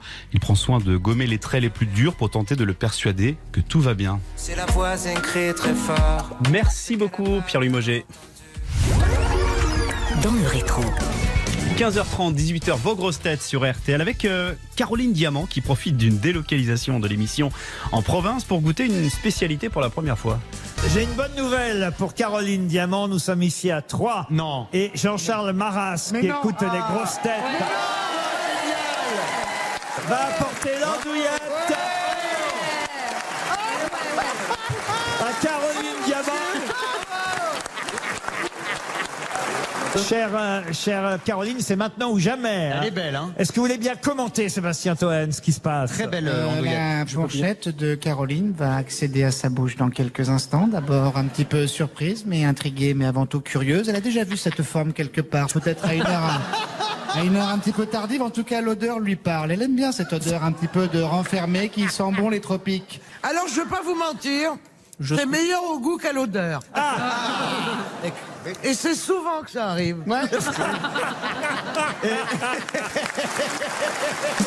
15h30, 18h, vos grosses têtes autour de Laurent Ruquier. Il est 5h28, c'est l'heure de jouer, chers auditeurs, au 3210. On vous fait gagner un cadeau, très très beau cadeau cette semaine, le coffret des Beatles. Let It Be. Avec donc deux CD, euh, un nouveau mix euh, stéréo de, l'album des Beatles et puis euh, des démos et des versions rares. C'est un beau cadeau pour gagner. Vous appelez le 3210 et les deux plus rapides d'entre vous remportent chacun un coffret. Bonne chance à tous. 3, 2, 1, 0. 7, Itby, la météo marina, avec euh, encore des températures très douces, mais un ciel moins sympathique. Oui, ça se dégrade. Exactement, ça se dégrade par le nord-ouest avec une perturbation pluvieuse et venteuse, mais vous l'avez dit, il fait extrêmement doux. Je vous donne la température, la relevée à 5 heures à Biarritz 24 degrés. 24 degrés, euh, cette température extrêmement douce. En même temps, hier. À on- 5h29, là. Exactement, exactement. Température, euh, oui, ça, ça vous surprend. Ah hein. oui, absolument. Les températures sont douces de toute façon quasiment partout. On est au-dessus des 10 degrés. Bon, on a un petit 9 à Strasbourg, entre guillemets, un 8 à Mulhouse, mais sinon, les températures sont douces. Euh, du côté de Vaumel, on a Bernard qui est dans les Hauts-de-Seine à Malakoff. 17 degrés et un ciel dégagé. Alors profitez du ciel dégagé, ça va pas durer. Et puis Patrick à Guyancourt dans les Yvelines, 16 degrés, donc dans la douce, de la douceur en région parisienne. Pour les températures cet après-midi, entre 17 et 26 degrés. Il fera 19 à Lille et à Nantes, 21 à Paris et à Bourges. Ça baisse, mais ça reste doux pour la saison. hein. 22 à Clermont-Ferrand et Marseille, 25 à Toulouse. Côté ciel, donc cette perturbation pluvieuse et venteuse qui est là en ce moment sur la Bretagne, les Pays de la Loire, le Cotentin, qui va toucher toute la Normandie, les Hauts-de-France, l'île de France dans la matinée, mais aussi les Pays de la Loire, le Poitou-Charentes. Et en cours d'après-midi, eh bien la Champagne-Ardenne, la Lorraine, en allant vers la Bourgogne, le centre Val-de-Loire jusqu'en Gironde et au Limousin. Pour les autres régions, vous allez garder un temps sec et assez ensoleillé, donc en allant vers l'est et le sud, exception quand même au sud, c'est autour du golfe du Lion et jusqu'en moyenne vallée du Rhône et jusqu'au Var. Là, les entrées maritimes s'étendent un petit peu plus, donc des entrées maritimes, des nuages apportés par le vent avec quelques gouttes. Merci Marina, il est 5h30. Et le journal vous est présenté par Isabelle Choquet. Bonjour Isabelle. Bonjour Jérôme, bonjour à tous. À la une, la flambée des prix du carburant, c'est le thème de notre matinale spéciale sur RTL. Deux conséquences immédiates, les Français ont réduit leur consommation et les vols de carburant se multiplient. Reportage dans un instant. À suivre également Karim Benzema jugé à partir d'aujourd'hui dans l'affaire de la sextape. Un avion qui s'écrase au Texas sans faire de victimes. Et puis la Ligue des Champions, ça passe tout juste pour le PSG, vainqueur de Leipzig 3-2. Ce soir, Lille est au pied du mur face à Séville. RTL Matin. C'est le sujet du moment. RTL se penche ce matin sur votre plein d'essence de plus en plus cher. 1,60€ en moyenne pour un litre de gazole, c'est 10 centimes de plus en un mois seulement. Le gouvernement s'est emparé du dossier, il doit annoncer des mesures d'aide. Derniers arbitrages aujourd'hui entre un chèque énergie ou une baisse des taxes. La piste qui tient la corde apparemment, c'est une sorte de taxe flottante. En attendant, les Français s'adaptent. Selon les informations d'RTL, la consommation de carburant a baissé de 5 à 10% depuis la mi-septembre. Et puis, c'est moins glorieux, on voit se multiplier les vols dans les entreprises. Reportage RTL de Patrice Gavard. Au volant d'un camion qui transporte un énorme engin de chantier, lui-même rempli de carburant, Gilbert, routier depuis 25 ans, reste sur ses gardes à la pause de midi. Ça m'est arrivé trois fois, ouais. Trois fois, ouais. Bah, ils ouvrent les... Soit ils ouvrent les trappes, c'est pour ça qu'ils sont plus jamais fermés. Soit ils ouvrent les, réservoirs et ils volent tout ce qu'il y a dedans. Ou sinon, ils percent par en dessous. ouais. Après, on a le matériel aussi qui est plein de fuel, donc ça, c'est pareil, ça se fait voler aussi. hein. Il y a de plus de vols. Et puis, on sait qu'il faut faire un peu plus attention ouais, quand il y a une augmentation de gasoil. C'est le cas en ce moment, ouais. Vigilance aussi pour Éric Rabouin, patron de l'entreprise du même nom au Cellier, spécialisée dans le transport de voitures et dont les 140 camions roulent sur l'ensemble du territoire. Malheureusement, oui, c'est usuel. hein, et donc, on essaye d'informer nos chauffeurs de, se prémunir contre ça, d'être d'être vigilants, de ne pas stationner euh, n'importe où, n'importe comment, et puis euh, d'éviter d'avoir le plein de réservoirs, notamment à certains endroits, bien sûr. Clôtures électriques, barrières infrarouges, vidéosurveillance, bouchons anti-vol, système de détection qui déclenche une alarme quand le réservoir se vide trop vite. Les parades existent, mais elles n'arrêtent pas les spécialistes du siphonnage. Reportage RTL de Patrice Gabard. Comment enrayer la flambée des prix des carburants matinale spéciale sur RTL alors que le gouvernement doit faire des annonces d'ici la fin de la semaine dans un quart d'heure après le journal RTL autour du monde. On va voir quelle est la situation chez nos voisins en Allemagne, en Italie, en Espagne, en Belgique. Quelle hausse là-bas? Est-ce que les gouvernements ont pris des mesures? Lesquelles nous appellerons nos correspondants Et cette nuit, l'Assemblée a largement voté le premier volet du budget 2022. Il comprend notamment le bouclier tarifaire promis par le gouvernement pour contenir la hausse des prix de l'électricité et du gaz. RTL 5h33, c'est le caillou dans la chaussure à crampons de Karim Benzema. L'affaire de la sextape est jugée à partir d'aujourd'hui à Versailles. L'attaquant français est accusé de chantage sur Mathieu Valbuena, son coéquipier chez les Bleus en 2015. En cause, une vidéo à caractère sexuel qui commençait à circuler. Benzema est alors intervenu de façon assez ambiguë, Alice Moreno. Oui, au cœur du dossier, cette conversation entre les deux joueurs lors d'une session d'entraînement à Clairefontaine. Au soir du 6 octobre 2015, tous les deux se retrouvent isolés dans une pièce. C'est chaud, souffle Karim Benzema à Mathieu Valbuena. Il lui dit qu'il a vu la sextape, qu'il peut lui présenter quelqu'un qui arrangera les choses. Dans la foulée, Karim Benzema téléphone à l'un de ses plus proches amis, un dénommé Zenati, lui-même en lien avec les maîtres chanteurs, les concierges de joueurs qui se sont procurés la vidéo. Benzema explique à son ami que Valbuena ne les pas au sérieux, mais qu'il ne va rien lâcher. Des propos qui sèment le doute quant aux intentions de l'international français. Lui a toujours maintenu que c'était une main tendue à son coéquipier, rien de plus. Il est pourtant renvoyé pour complicité de chantage dans cette affaire, aux côtés de son ami Zenati et des hommes qui possédaient la vidéo. Alice Moreno du service police-justice d'RTL. Il ne voulait pas y aller, mais désormais Nicolas Sarkozy est convoqué au procès des sondages de l'Elysée le 2 novembre. Il est protégé dans ce dossier par son immunité présidentielle, mais il doit être entendu comme témoin à la demande de l'association Anticor. S'il refuse toujours de se présenter, le tribunal a ordonné qu'il soit amené par la force publique. Un homme a été placé en garde à vue hier dans l'enquête sur les menaces de mort visant un couple d'enseignants de Marseille. Il s'agit finalement d'un artisan qui a reconnu les faits, Hugo Hamelin. Oui, son profil n'a finalement rien à voir avec celui d'un élève de ce professeur d'histoire, ni avec un parent de collégien. C'est bien un litige d'ordre privé qui serait à l'origine de ces courriers de menaces de mort. L'homme qui a avoué immédiatement lors de son audition est un artisan de 34 ans qui était en conflit avec le couple d'enseignants pour des travaux dans leur maison. Mécontent, il a donc déposé au cours de ces deux derniers mois euh, trois lettres au domicile de ces deux professeurs, les habillant euh, d'un décor terroriste avec euh, notamment une référence directe à Samuel Paty. Dans le collège où enseigne ce prof d'histoire, c'est un soulagement. Il avait été euh, mis d'office en congé en attendant de trouver son corbeau.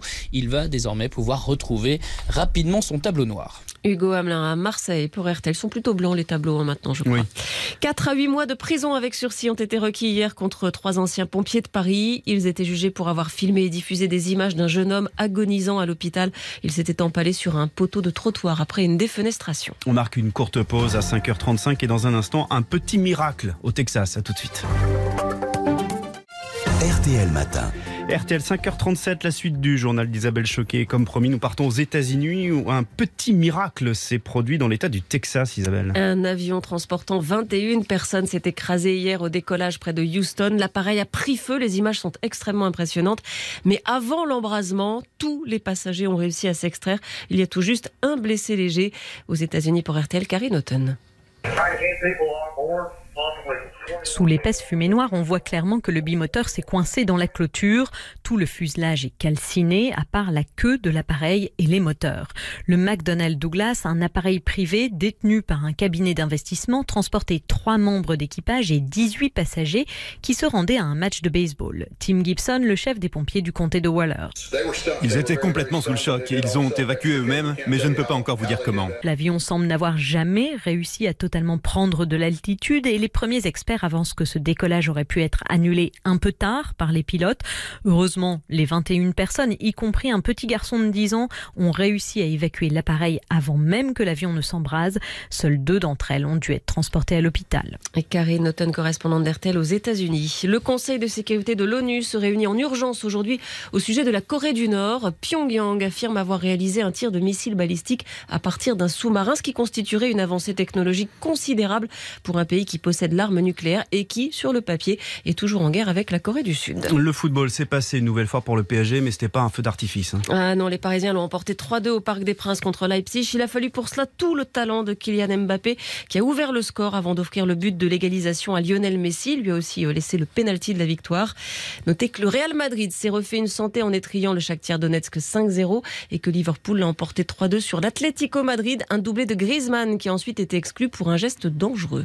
Ce soir, c'est Lille qui joue sa peau face au FC Séville. Les nordistes doivent impérativement l'emporter pour garder une petite chance de qualification pour les huitièmes de finale, d'autant qu'ils sont aussi à la peine en championnat avec une défaite le week-end dernier contre Clermont. Il faut réagir, dit l'entraîneur du LOSC, Jocelyn Gourvenec. Quand on, on montre un certain niveau et qu'on redescend d'un cran et qu'on fait des matchs comme ça, on crée, on, crée du doute, on crée du trouble autour de nous. Mais après, une fois que c'est fait, nous, on doit regarder devant. Et là, c'est la Champions League. Tout le monde a envie de la jouer. Et on l'a dit, euh, et je le répète encore une fois, on jouera tout à 300% et on fera les comptes à la fin de la, de la sixième journée. L'entraîneur du LOSC au micro RTL de Franck Hanson. Dans le journal d'Isabelle Choquet qui revient à 7h30. Avec plaisir, à tout à l'heure. À tout à l'heure, 5h40. RTL, vous êtes comme ça.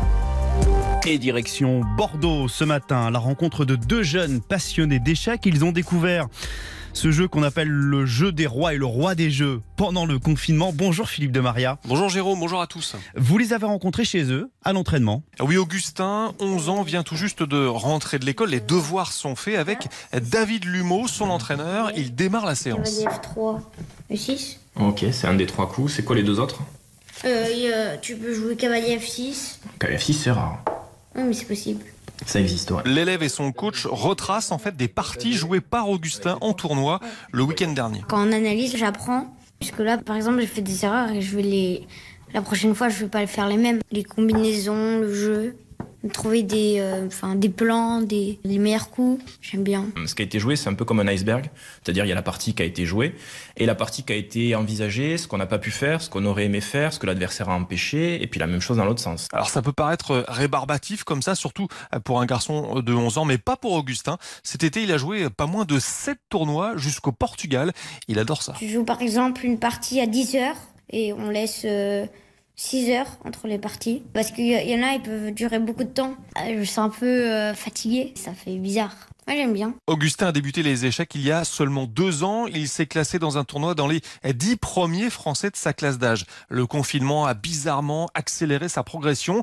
Il a joué sur Internet un nombre considérable de parties d'échecs. Sur Internet, j'en ai fait euh, 10 000. Parce qu'on était chez nous, du coup, on faisait pas grand-chose. Il avait démarré en club avant. Et c'est vrai que le confinement, ça a été un accélérateur, on va dire, dans sa progression, parce qu'il a eu le temps pour beaucoup jouer. Alors c'est Aurora, sa maman, qui l'a inscrit à la section échecs de l'AGJA, la maison de quartier de Bordeaux-Codéran. On l'a inscrit une année et puis euh, l'année même, il a été champion de Nouvelle-Aquitaine et je crois qu'il a surpris mais complètement tout le monde, personne s'y attendait. Ça lui plaît beaucoup, vraiment, il y a une motivation qui est très très forte. Et il a besoin de, de jouer aux échecs et il a besoin de faire du sport, de bouger aussi, de faire du foot ou là il fait de l'athlétisme aussi. Je pense que oui, c'est vital pour lui. Il faut que sa tête travaille, son corps aussi. Et sinon, il n'est pas bien. Oui. Et le petit frère Antoine, seulement 7 ans, s'est lui aussi pris de passion pour les échecs. Il revient également d'un tournoi. J'aime bien les compétitions. J'ai eu une médaille, j'ai eu 3 points. J'ai gagné 3 parties, j'ai perdu 3 et j'ai gagné 3. Et il a gagné une partie contre un adulte. Il avait plus trop de temps à la pendule. Euh, ben, il a joué vite et il m'a donné euh, la tour, puis après la dame. Et les frères Rodriguez ne s'arrêteront pas en si bon chemin. Augustin a l'ambition de devenir grand maître. Il lui faudra encore jouer de nombreuses parties pour euh, réaliser son rêve. 4, c'est 5. Reportage, vous êtes comme ça avec ces petits génies euh, des échecs. C'est signé Philippe de Maria, retrouvé sur l'application RTL. Marina, encore des températures très douces, mais c'est moins joli dans le ciel. Ah oui, de la pluie, du vent, tout ça nous arrive par le nord-ouest avec une perturbation qui traverse assez vite le pays. Enfin, le premier front, parce qu'on aura un deuxième front après en fin de journée, qui donnera un vent assez fort d'ailleurs euh, dans la nuit prochaine et notamment en région parisienne avec des rafales qui dépasseront 100 km par heure. Mais pour l'instant, on a ce premier front qui s'étend de la Bretagne à la Normandie, au Pays de la Loire, qui va toucher les Hauts-de-France, tout- toute la Normandie, la région parisienne, le centre Val-de-Loire, le Poitou-Charentes et puis la Gironde, le Limousin, Champagne-Ardenne, Lorraine, Bourgogne d'ici à l'après-midi. Avant que ça n'arrive, vous aurez un temps sec et assez agréable. D'ailleurs, le temps sec et ensoleillé, on va le garder vers l'Alsace, la Franche-Comté, les Alpes, la Corse, le sud de l'Aquitaine, le sud de l'Occitanie, ce sera agréable. En fait, au sud, il y a juste des entrées maritimes qui seront plus importantes, donc plus étendues, donc allant du Languedoc jusqu'en moyenne vallée du Rhône et au Var, avec donc des nuages, du vent et puis euh, quelques gouttes. Une fois la perturbation passée, on va garder quand même un ciel assez gris et puis ça va se repartir avec du vent fort la nuit prochaine. Pour les températures, alors la douceur ce matin, de la douceur euh, cet après-midi de 17 à Brest jusqu'à 26 à Agen, il fera 19 à Lille, 21 à Paris, 23 à Perpignan. Merci Marina. Comment enrayer la flambée des prix des carburants matinale spéciale sur RTL Quelle est la situation chez nos voisins européens? RTL autour du monde dans un instant, 5h44. RTL autour du monde. Avec un tour d'Europe aujourd'hui dans cette matinale spéciale consacrée à la hausse des prix du carburant. Où en est-on chez nos voisins? Les gouvernements ont-ils pris des mesures? Tour d'horizon avec nos correspondants dans l'ordre Léo Potier, Diane Cambon, Olivier Bonnel et Caroline N. Ici en Allemagne, le prix moyen du litre de samplon 98, le Zupa Plus comme on l'appelle, a atteint 1,86€ le litre. Et dans l'attente du successeur d'Angela Merkel, le gouvernement ne prend aucune mesure. Les Allemands sont donc obligés d'appliquer le système D. Les Rhénans vont donc faire le plein au Luxembourg, les Bavarois en Autriche, les Brandebourgeois et les Saxons préfèrent la République tchèque et la Pologne où l'on peut économiser jusqu'à 30 à 40 centimes d'euros par litre. Ce qui est critiqué par certains ici, c'est la fiscalité verte qui provoque 7 à 8 centimes d'euros de plus par litre. Un surcoût que certains clubs automobiles allemands aimeraient bien voir disparaître afin d'amortir la hausse des prix à la pompe. Ici en Espagne, le prix du samplon est à 1,5 euros le litre en moyenne. Cela représente une hausse de 21% depuis le début de l'année. Les automobilistes d'une voiture de 50 litres doivent donc dépenser 12 euros de plus depuis janvier pour remplir leur réservoir. Cette montée des prix de l'essence est accompagnée d'une hausse de l'électricité de 40% en un an. Le mécontentement des consommateurs se traduit par une baisse de la popularité du gouvernement, comme le montrent les derniers sondages d'opinion. Face à cette grogne, Pedro Sanchez, le leader socialiste, a annoncé une baisse de la TVA de 21 à 10% sur le prix de l'électricité, mais aucune mesure n'est prévue pour l'instant pour freiner la hausse du carburant. Ici en Italie, les prix à la pompe n'ont cessé de grimper en flèche ces derniers jours, à tel point que le litre de samplon 98 a flirté le week-end dernier avec les 2 euros dans les stations sur les autoroutes. Il s'est pour l'instant stabilisé à 1,73 euro centimes le litre.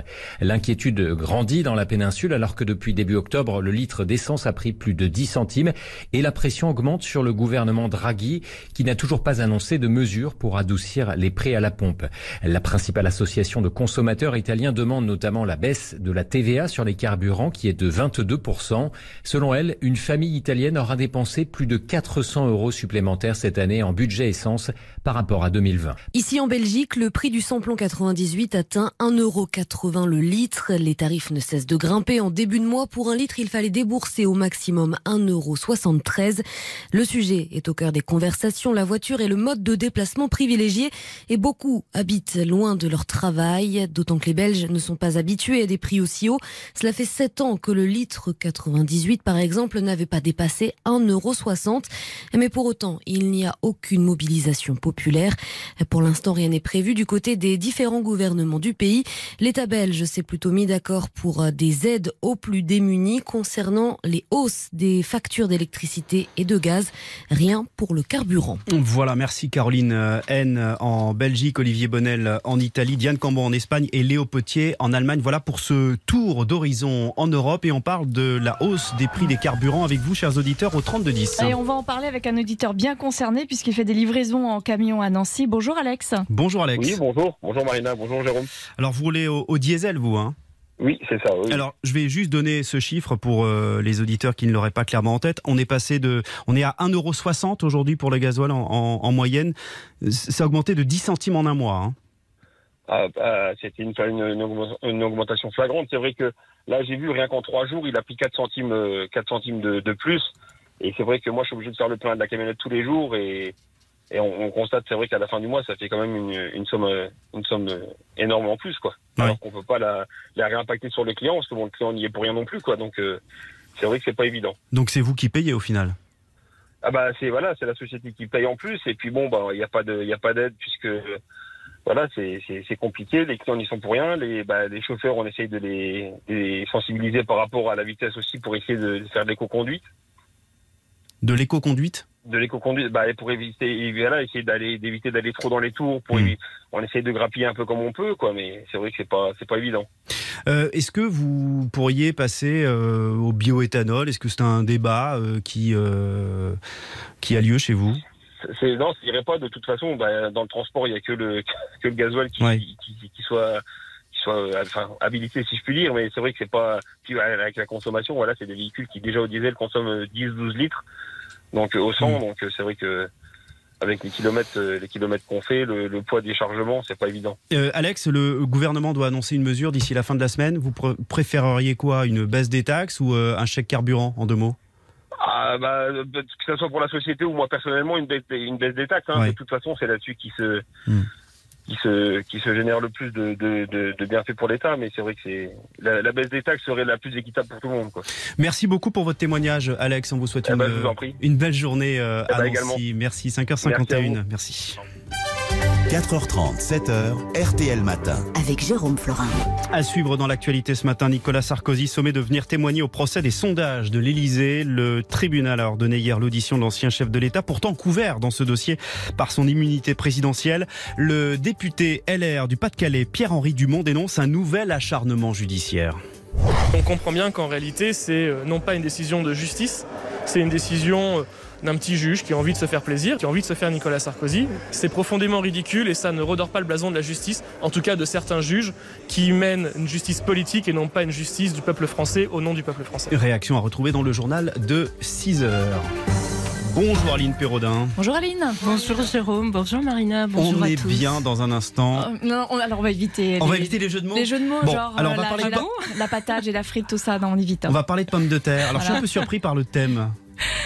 Mais en fait, euh, elle a mauvaise réputation et on va voir si c'est justifié ou non, parce qu'on en mange, c'est notre légume préféré quand même. Elle a des bienfaits quand même. On, on épluche tout ça dans un instant, à tout de ah, suite. Voilà, on mange des pommes de terre et vous m'entendez bien, bien, bien. On mange des pommes de terre et vous m'entendez bien. RTL. Revivre ensemble. RTL Matin. Aline Perrodin, ce matin, vous nous parlez de pommes de terre. Quelle drôle d'idée. Eh ben oui, parce que c'est notre légume préféré, c'est euh, bon marché, elle est appréciée aussi bien par les grands que les petits. Puis il faut dire qu'elle va avec tout ou presque, hein, les viandes, les poissons, et elle peut faire aussi le bonheur des végétariens. Alors il est loin le temps de Monsieur Parmentier, hein, cet apothicaire du XVIIIe siècle où la pomme de terre était jugée juste bonne pour les cochons. Alors c'est bien pour la cuisine, mais est-ce que c'est bon pour la santé? Alors la pomme de terre a de nombreux atouts. D'abord, elle contient plusieurs vitamines, elle est riche en vitamine B, essentielle au fonctionnement des nerfs. Quand on dit vitamine C, on pense plutôt aux agrumes. Ouais. Eh bien, la pomme de terre en contient aussi. Ah bon Et elle a une bonne teneur en potassium qui intervient dans la contraction musculaire. C'est Mhm. idéal pour les sportifs. Alors, pour préserver ces nutriments, il vaut mieux la cuire à la vapeur plutôt qu'à l'eau. On peut aussi la manger avec la peau, mais dans ce cas, il faut la choisir Mhm. bio, hein, parce que c'est là aussi que résident les pesticides. Ouais, mais il y a des bonnes choses aussi dans la peau, j'imagine, non? Comme, euh, ouais. Voilà, bah, il y a les- le- toutes les fibres, le potassium, et près de la peau, il y a beaucoup plus de vitamine C. Ok, et est-ce qu'elle est calorique ou pas? Alors ça, c'est encore une idée reçue, hein, les moins caloriques que les pâtes ou le riz. Bon, bah, c'est ce qui va avec, euh, le beurre, la, La crème, crème. qui peut poser problème. Voir le beurre et la crème. Voilà. Et je ne parle pas des frites et des chips, hein, ça on limite. Et Ouais. non, une portion de frites ne compte pas comme une portion de légumes. Ça c'est dit, mais même sans parler de frites, certains régimes recommandent d'exclure la pomme de terre.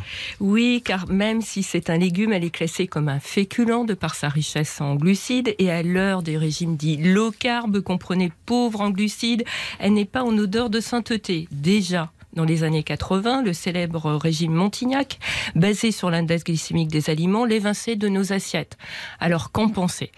C'est vrai que la pomme de terre est riche en glucides, elle contient de l'amidon et selon son mode de préparation, elle fait plus ou moins monter la glycémie, le taux de sucre dans le sang. Quand elle est cuisinée entière avec la peau, Ouais. son index glycémique est moyen. En revanche, c'est vrai, il grimpe avec une cuisson au four ou à la poêle et en purée. Mais tout cela hein, est vraiment à relativiser Mm. car on mange rarement des pommes de terre seules et les autres aliments qui peuvent l'accompagner peuvent tout à fait faire baisser les pics de glycémie. Tiens, vous parliez de faire baisser les pics de glycémie. euh, Il y a une astuce pour le faire autrement? Alors oui, il y a une astuce, il faut consommer la pomme de terre froide en salade par exemple. Ah oui, ça c'est bon. Alors, quand on laisse refroidir les pommes de terre, un- une plus grande partie de leur amidon euh, devient ce qu'on dit résistant, c'est-à-dire qu'il ne va plus être digéré. Il va agir comme des fibres et servir de nourriture aux bonnes bactéries de notre flore intestinale. Ainsi, les, bo- les- les pommes de terre sont bonnes pour la santé de notre microbiote. Ça, c'est une bonne nouvelle. Elles contiennent aussi des fibres solubles douces pour les intestins et elles sont dépourvues de gluten, ce qui permet aux personnes atteintes de maladies cœliaques de les consommer. Donc, il n'y a aucune raison de diaboliser la pomme de terre, ni aucun autre aliment d'ailleurs, ni de l'exclure de son alimentation. Elle est saine à condition de choisir le bon mode Mm. de cuisson, hein, plutôt à la vapeur et à l'étouffer. faut enlever l'amidon en fait, c'est ça, non? Est-ce qu'il ne serait pas euh, justement de la laver et puis de la, la sécher dans un torchon?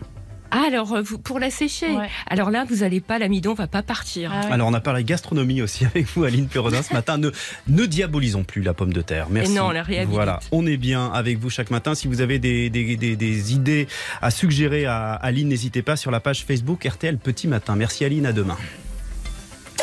RTL. L'œil de Philippe Cavrivière. Un extrait de Philippe Cavrivière que vous retrouvez chaque matin avec Yves Calvi à 8h-5, juste après l'interview d'Alba Ventura. Philippe, hier, face au porte-parole du gouvernement. Euh, Gabriel Attal, vous êtes le Kids United de ce gouvernement. Vous êtes le Benjamin. Vous avez donc exactement 109 ans d'écart avec Jean-Yves Le Drian. Oh non. Vous êtes le seul enfant à bosser le mercredi, ce Oui, qui vous fait rater tous les semaines, midi, Midi les, les zouzous. zouzous. Wow. Mais vous avez ce talent de tout faire passer. Vous êtes à la politique, ce que Laurent Delahousse est au journalisme.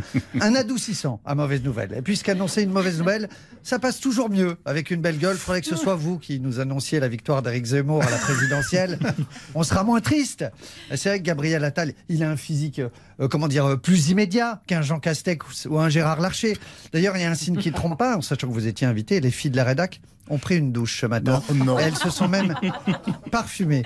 Le mercredi, quand vous arrivez, on ne sait pas si c'est une allocation ou une publicité pour un parfum. Giorgio Armani, Porto Paroli, The New Fragrance by Gabriel Attal. Philippe Cavrivière a retrouvé tout à l'heure, juste avant 8h, aux côtés d'Yves Calvi. Marina, toujours euh, une grande douceur ce matin, après Oui. des températures records hier. hein. Ah et, euh, non, on n'a pas eu des températures records, mais on a eu des températures élevées. et très élevées. Oui. On a été jusqu'à 31 à Osgore. Osegor, comme on dit là-bas, hein, c'est vrai. 30 degrés à Cambo-les-Bains. Donc forcément, là, ce matin, les températures sont extrêmement douces. On a 24 à, à Biarritz. Il, il fait doux aussi euh, ailleurs que dans le sud-ouest, puisqu'il fait euh, 17 degrés au Mans. On a 16 à Paris, 15 à Lille, 14 degrés à Nice. Donc de la douceur ce matin. Et ce sera encore doux cet après-midi, même si les températures vont baisser hein, par rapport à hier après-midi. Mais on aura quand même 26 à Biarritz et à Auch, 24 à Bordeaux, 22 à Clermont-Ferrand et à Marseille, 21 à Paris et à Strasbourg, 20 degrés à Et Orléans, 19 à Lille et à Caen et 17 à Cherbourg. Mais on change de temps, perturbations pluvieuses et venteuses aussi. Le vent va se renforcer, qui s'étend de la Bretagne à la Normandie, au pays de la Loire, puis vers les Hauts-de-France, la région parisienne, centre Val-de-Loire, Poitou-Charentes, le Limousin, Champagne-Ardenne, Lorraine, Bourgogne, tout ça va être touché en cours d'après-midi. Donc en allant vers l'extrême est et l'extrême sud, vous allez être épargné, vous allez garder du soleil aujourd'hui. À part autour du golfe du Lion jusqu'au Var et en moyenne vallée du Rhône, vous avez des entrées maritimes, donc des nuages, du vent et quelques gouttes. Merci Marina, merci de commencer la journée avec RTL. Il est pile 6 heures.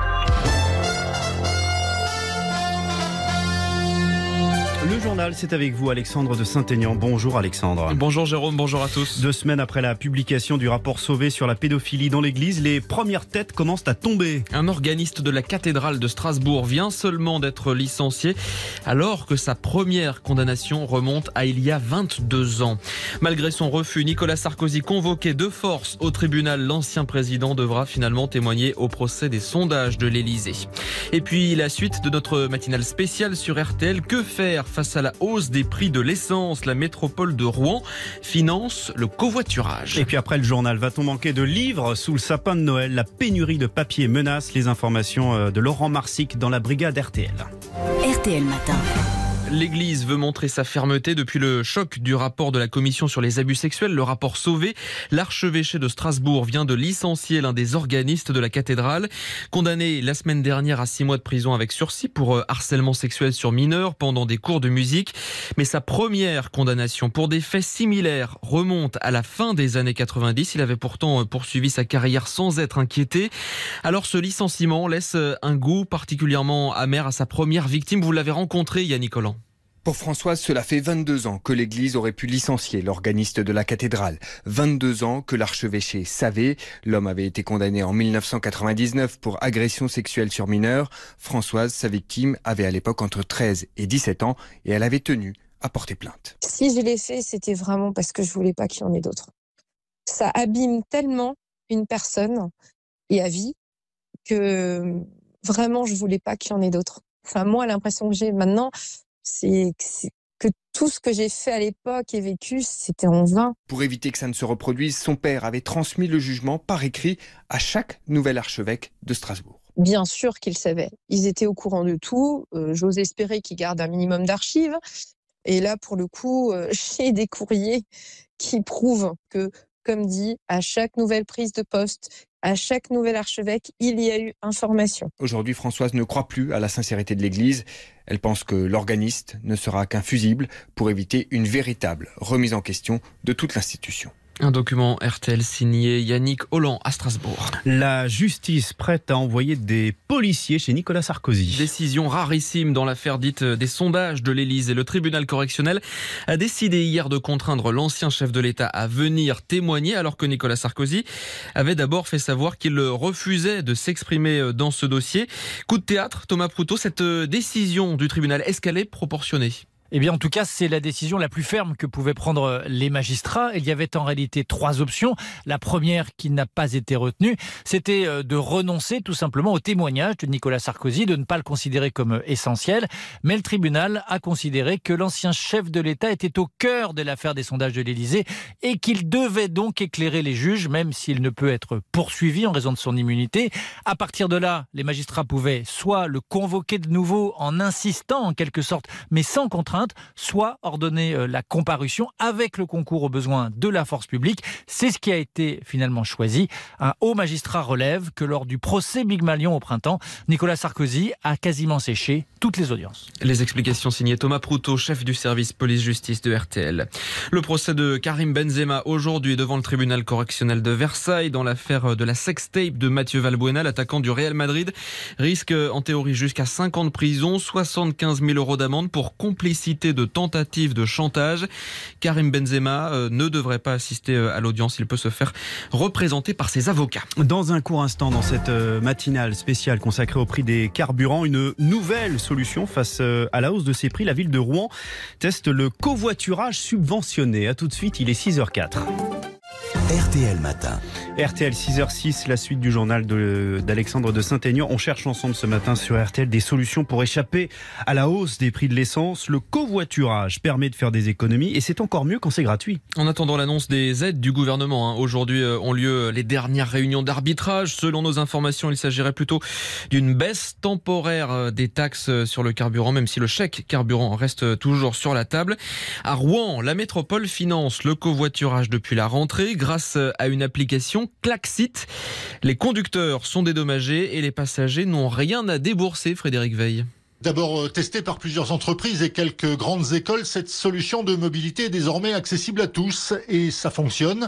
Nicolas Mayer-Rossignol est le président de la métropole de Rouen. Dans l'expérimentation, on était autour de 2000 personnes et on a étendu depuis trois semaines, un mois. Et là, on est à 4500 personnes. Donc clairement, il y a de plus en plus de gens qui l'utilisent parce que ça fonctionne, parce que c'est simple, c'est hyper pratique. Vous pouvez covoiturer avec des gens que vous connaissez déjà, ou vous pouvez demander au système de vous trouver des covoitureurs. Ils s'adaptent à votre trajet et en plus, vous êtes rémunéré si vous êtes conducteur. C'est quand même pas mal. Une application qui a séduit euh, Charlotte, elle est étudiante, elle prend sa voiture tous les jours pour aller sur le campus. Ça fait environ un an maintenant que je fais du covoiturage et c'est vrai qu'avec cette aide, c'est un vrai coup de pouce. Ça me paye mon essence, surtout euh, en ce moment, euh, au vu du prix où elle est. euh, en gros, je touche entre 120 et 150 euros par mois pour les trois personnes que je transporte tous les jours pour venir en cours. C'est super rentable. Rentable aussi pour les passagers qui voyagent gratuitement grâce à cette mesure mise en place par la métropole jusqu'à fin décembre. Reportage signé Frédéric Veil à Rouen pour RTL. Et cette question, y aura-t-il euh, des livres au pied du sapin? Conséquence inattendue de la crise sanitaire depuis la fin du printemps, le secteur est confronté à une, une pénurie historique de pâte à papier. On va y revenir dans quelques instants dans la brigade RTL avec Laurent Marsic. Le nouvel album d'Astérix euh, sort demain. 1 500 000 exemplaires ont été imprimés. Des stocks ont, ont justement été faits pour éviter la pénurie de pâte à papier. Astérix et le Griffon, le petit Gaulois moustachu qui s'en va dans l'Est. Une destination inédite, Monique Younes. Oui, tout est d'ailleurs inédit dans Astérix et le Griffon. Pour la première fois, l'album ne s'ouvre pas sur le village gaulois. Pour la première fois, les femmes sont aussi nombreuses que les hommes. Et quelles femmes Des Slaves, Amazones guerrières, comme Maminovna et Kalachnikovna, femmes d'extérieur, s'il vous plaît. Pour la première fois aussi, l'action d'un album d'Astérix se déroule dans un paysage totalement enneigé, ce qui permet au dessinateur Didier Conrad de signer des décors splendides soutenus par le texte subtil du scénariste Jean-Yves Ferry. C'est aussi la première fois que les héros sont aussi déstabilisés. Le druide est malade, la potion magique introuvable. Quant à Astérix, il est ahuri par ce peuple des Sarmates qui boit du thé au lait de jument fermenté et ne jure que par le griffon. Astérix et le Griffon est une histoire de quête, un conte antique sur l'altérité, sujet d'actualité s'il en est. Monique Younes pour RTL. En football, la courte victoire du Paris Saint-Germain hier soir en Ligue des Champions, 3-2 face aux Allemands de Leipzig, grâce à un but de Kylian Mbappé et un doublé de Lionel Messi. Malgré cette performance dans la douleur, le PSG conserve la tête de son groupe avec un point d'avance sur Manchester City. La suite de la Ligue des Champions ce soir, c'est au tour de Lille qui va affronter le FC Séville. Le match de la dernière chance pour le LOSC qui compte seulement un point après deux journées. Coup d'envoi 21h à suivre en fil rouge sur RTL. Les courses à la Capelle dans l'Aisne.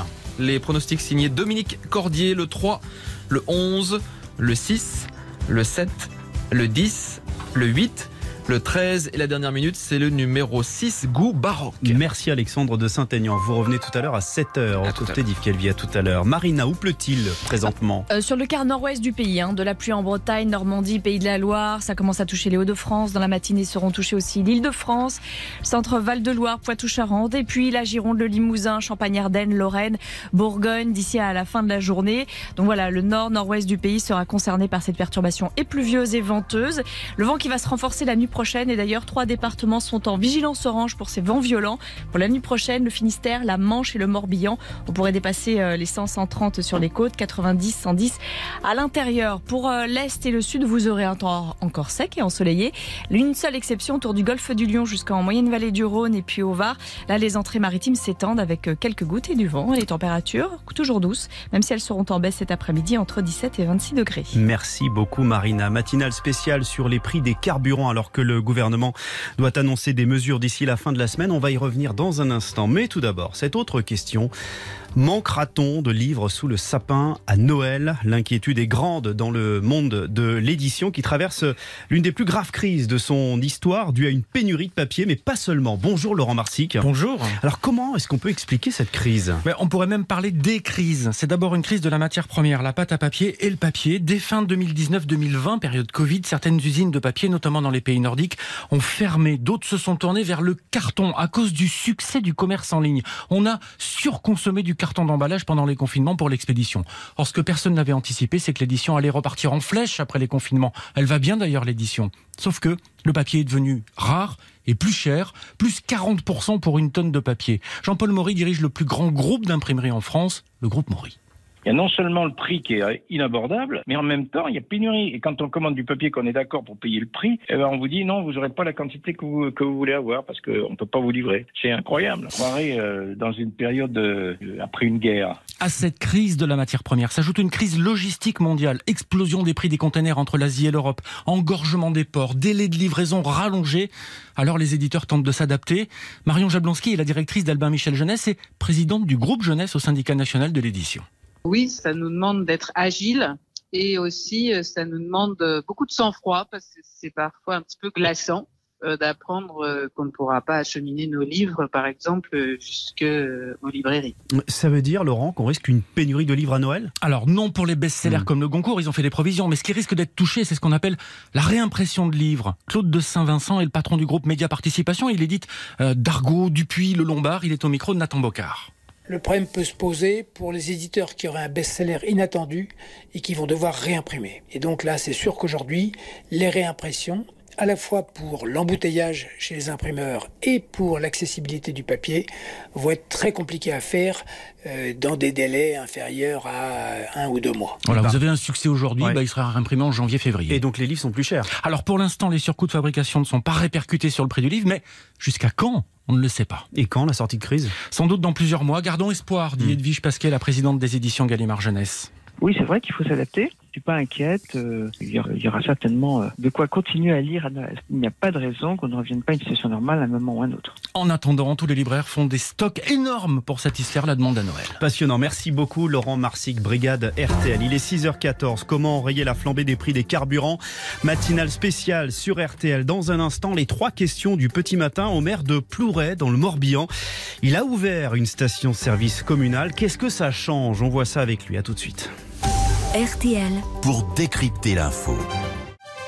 RTL Matin avec Jérôme Florin. RTL 6h17, bienvenue si vous nous rejoignez sur RTL. À retenir dans l'actualité ce matin, d'abord cette euh, victoire dans la douleur pour le PSG face à Leipzig lors de la troisième journée de Ligue des Champions. Les Parisiens, un temps menés au score, ont finalement gagné 3-2, mais pas de quoi rassurer totalement les supporters.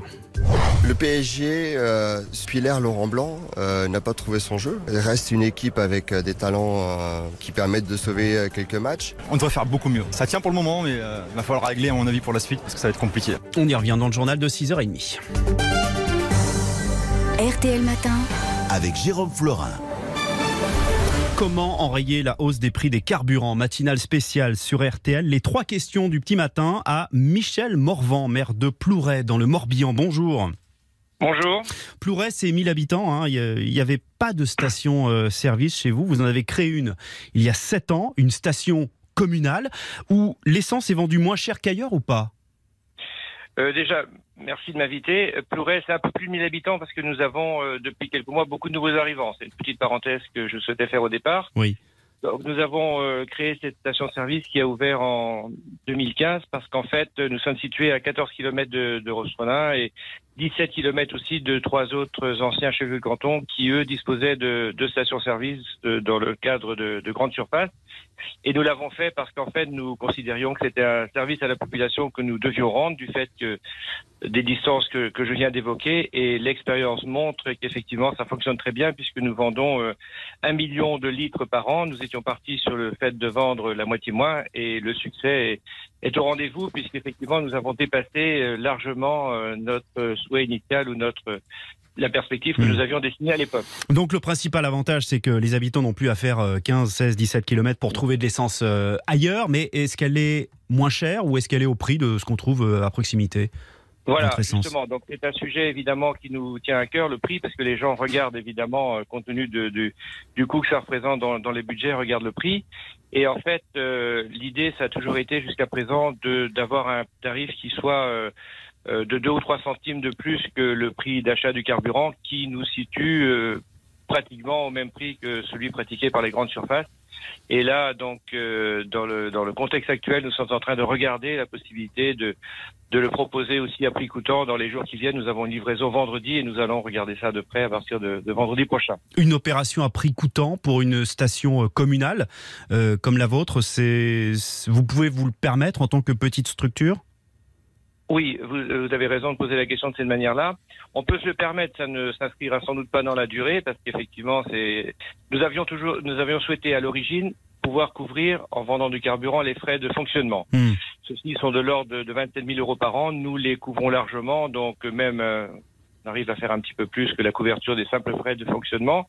Donc euh, le fait euh, de le vendre à prix coûtant pendant une période déterminée ne posera pas de souci euh, par rapport au budget communal. Et donc c'est 300 000 euros hein, que vous aviez euh, investi dans cette station et c'est largement rentabilisé aujourd'hui donc. Oui, le prix de, de, de l'investissement, le montant de l'investissement au départ, c'était effectivement 300 000 euros. Nous avons obtenu 200 000 euros de subvention, ce qui a constitué une charge pour la commune de l'ordre de 100 000 euros. Et euh, effectivement, euh, nous euh, sommes, nous avons pensé au départ que l'investissement pouvait être couvert par dans le cadre de la fiscalité locale, parce que c'est comme d'autres équipements publics, un service à la population. Et en fait, nous y sommes tout à fait. Nous avons même, nous dépassons même un petit peu en termes de recettes Hmm. le montant des dépenses de fonctionnement. Avec donc vous l'avez dit, un 1 million de, de litres vendus par an. Vous prévoyiez à l'origine 500 000, donc vous avez largement dépassé vos objectifs. Merci beaucoup Michel Morvan, maire de Bah, Plouray dans, merci dans le Morbihan. Je vous en prie. Vous êtes élu depuis 1983, hein, donc euh, Je, je suis maire depuis 1983. J'étais même élu avant depuis 1977 comme conseiller municipal et adjoint effectivement. Voilà, bah fait, toutes nos félicitations en tout cas. Merci, belle journée Merci à vous. beaucoup. Il est À vous aussi, 6h21 dans un instant. On vous retrouve Isabelle Morini-Bosque. Bonjour. Bonjour Isabelle. Bonjour tout le monde. Que faut-il voir absolument ce soir? Ah là là. Quoi, ah là là? 10, 16 ans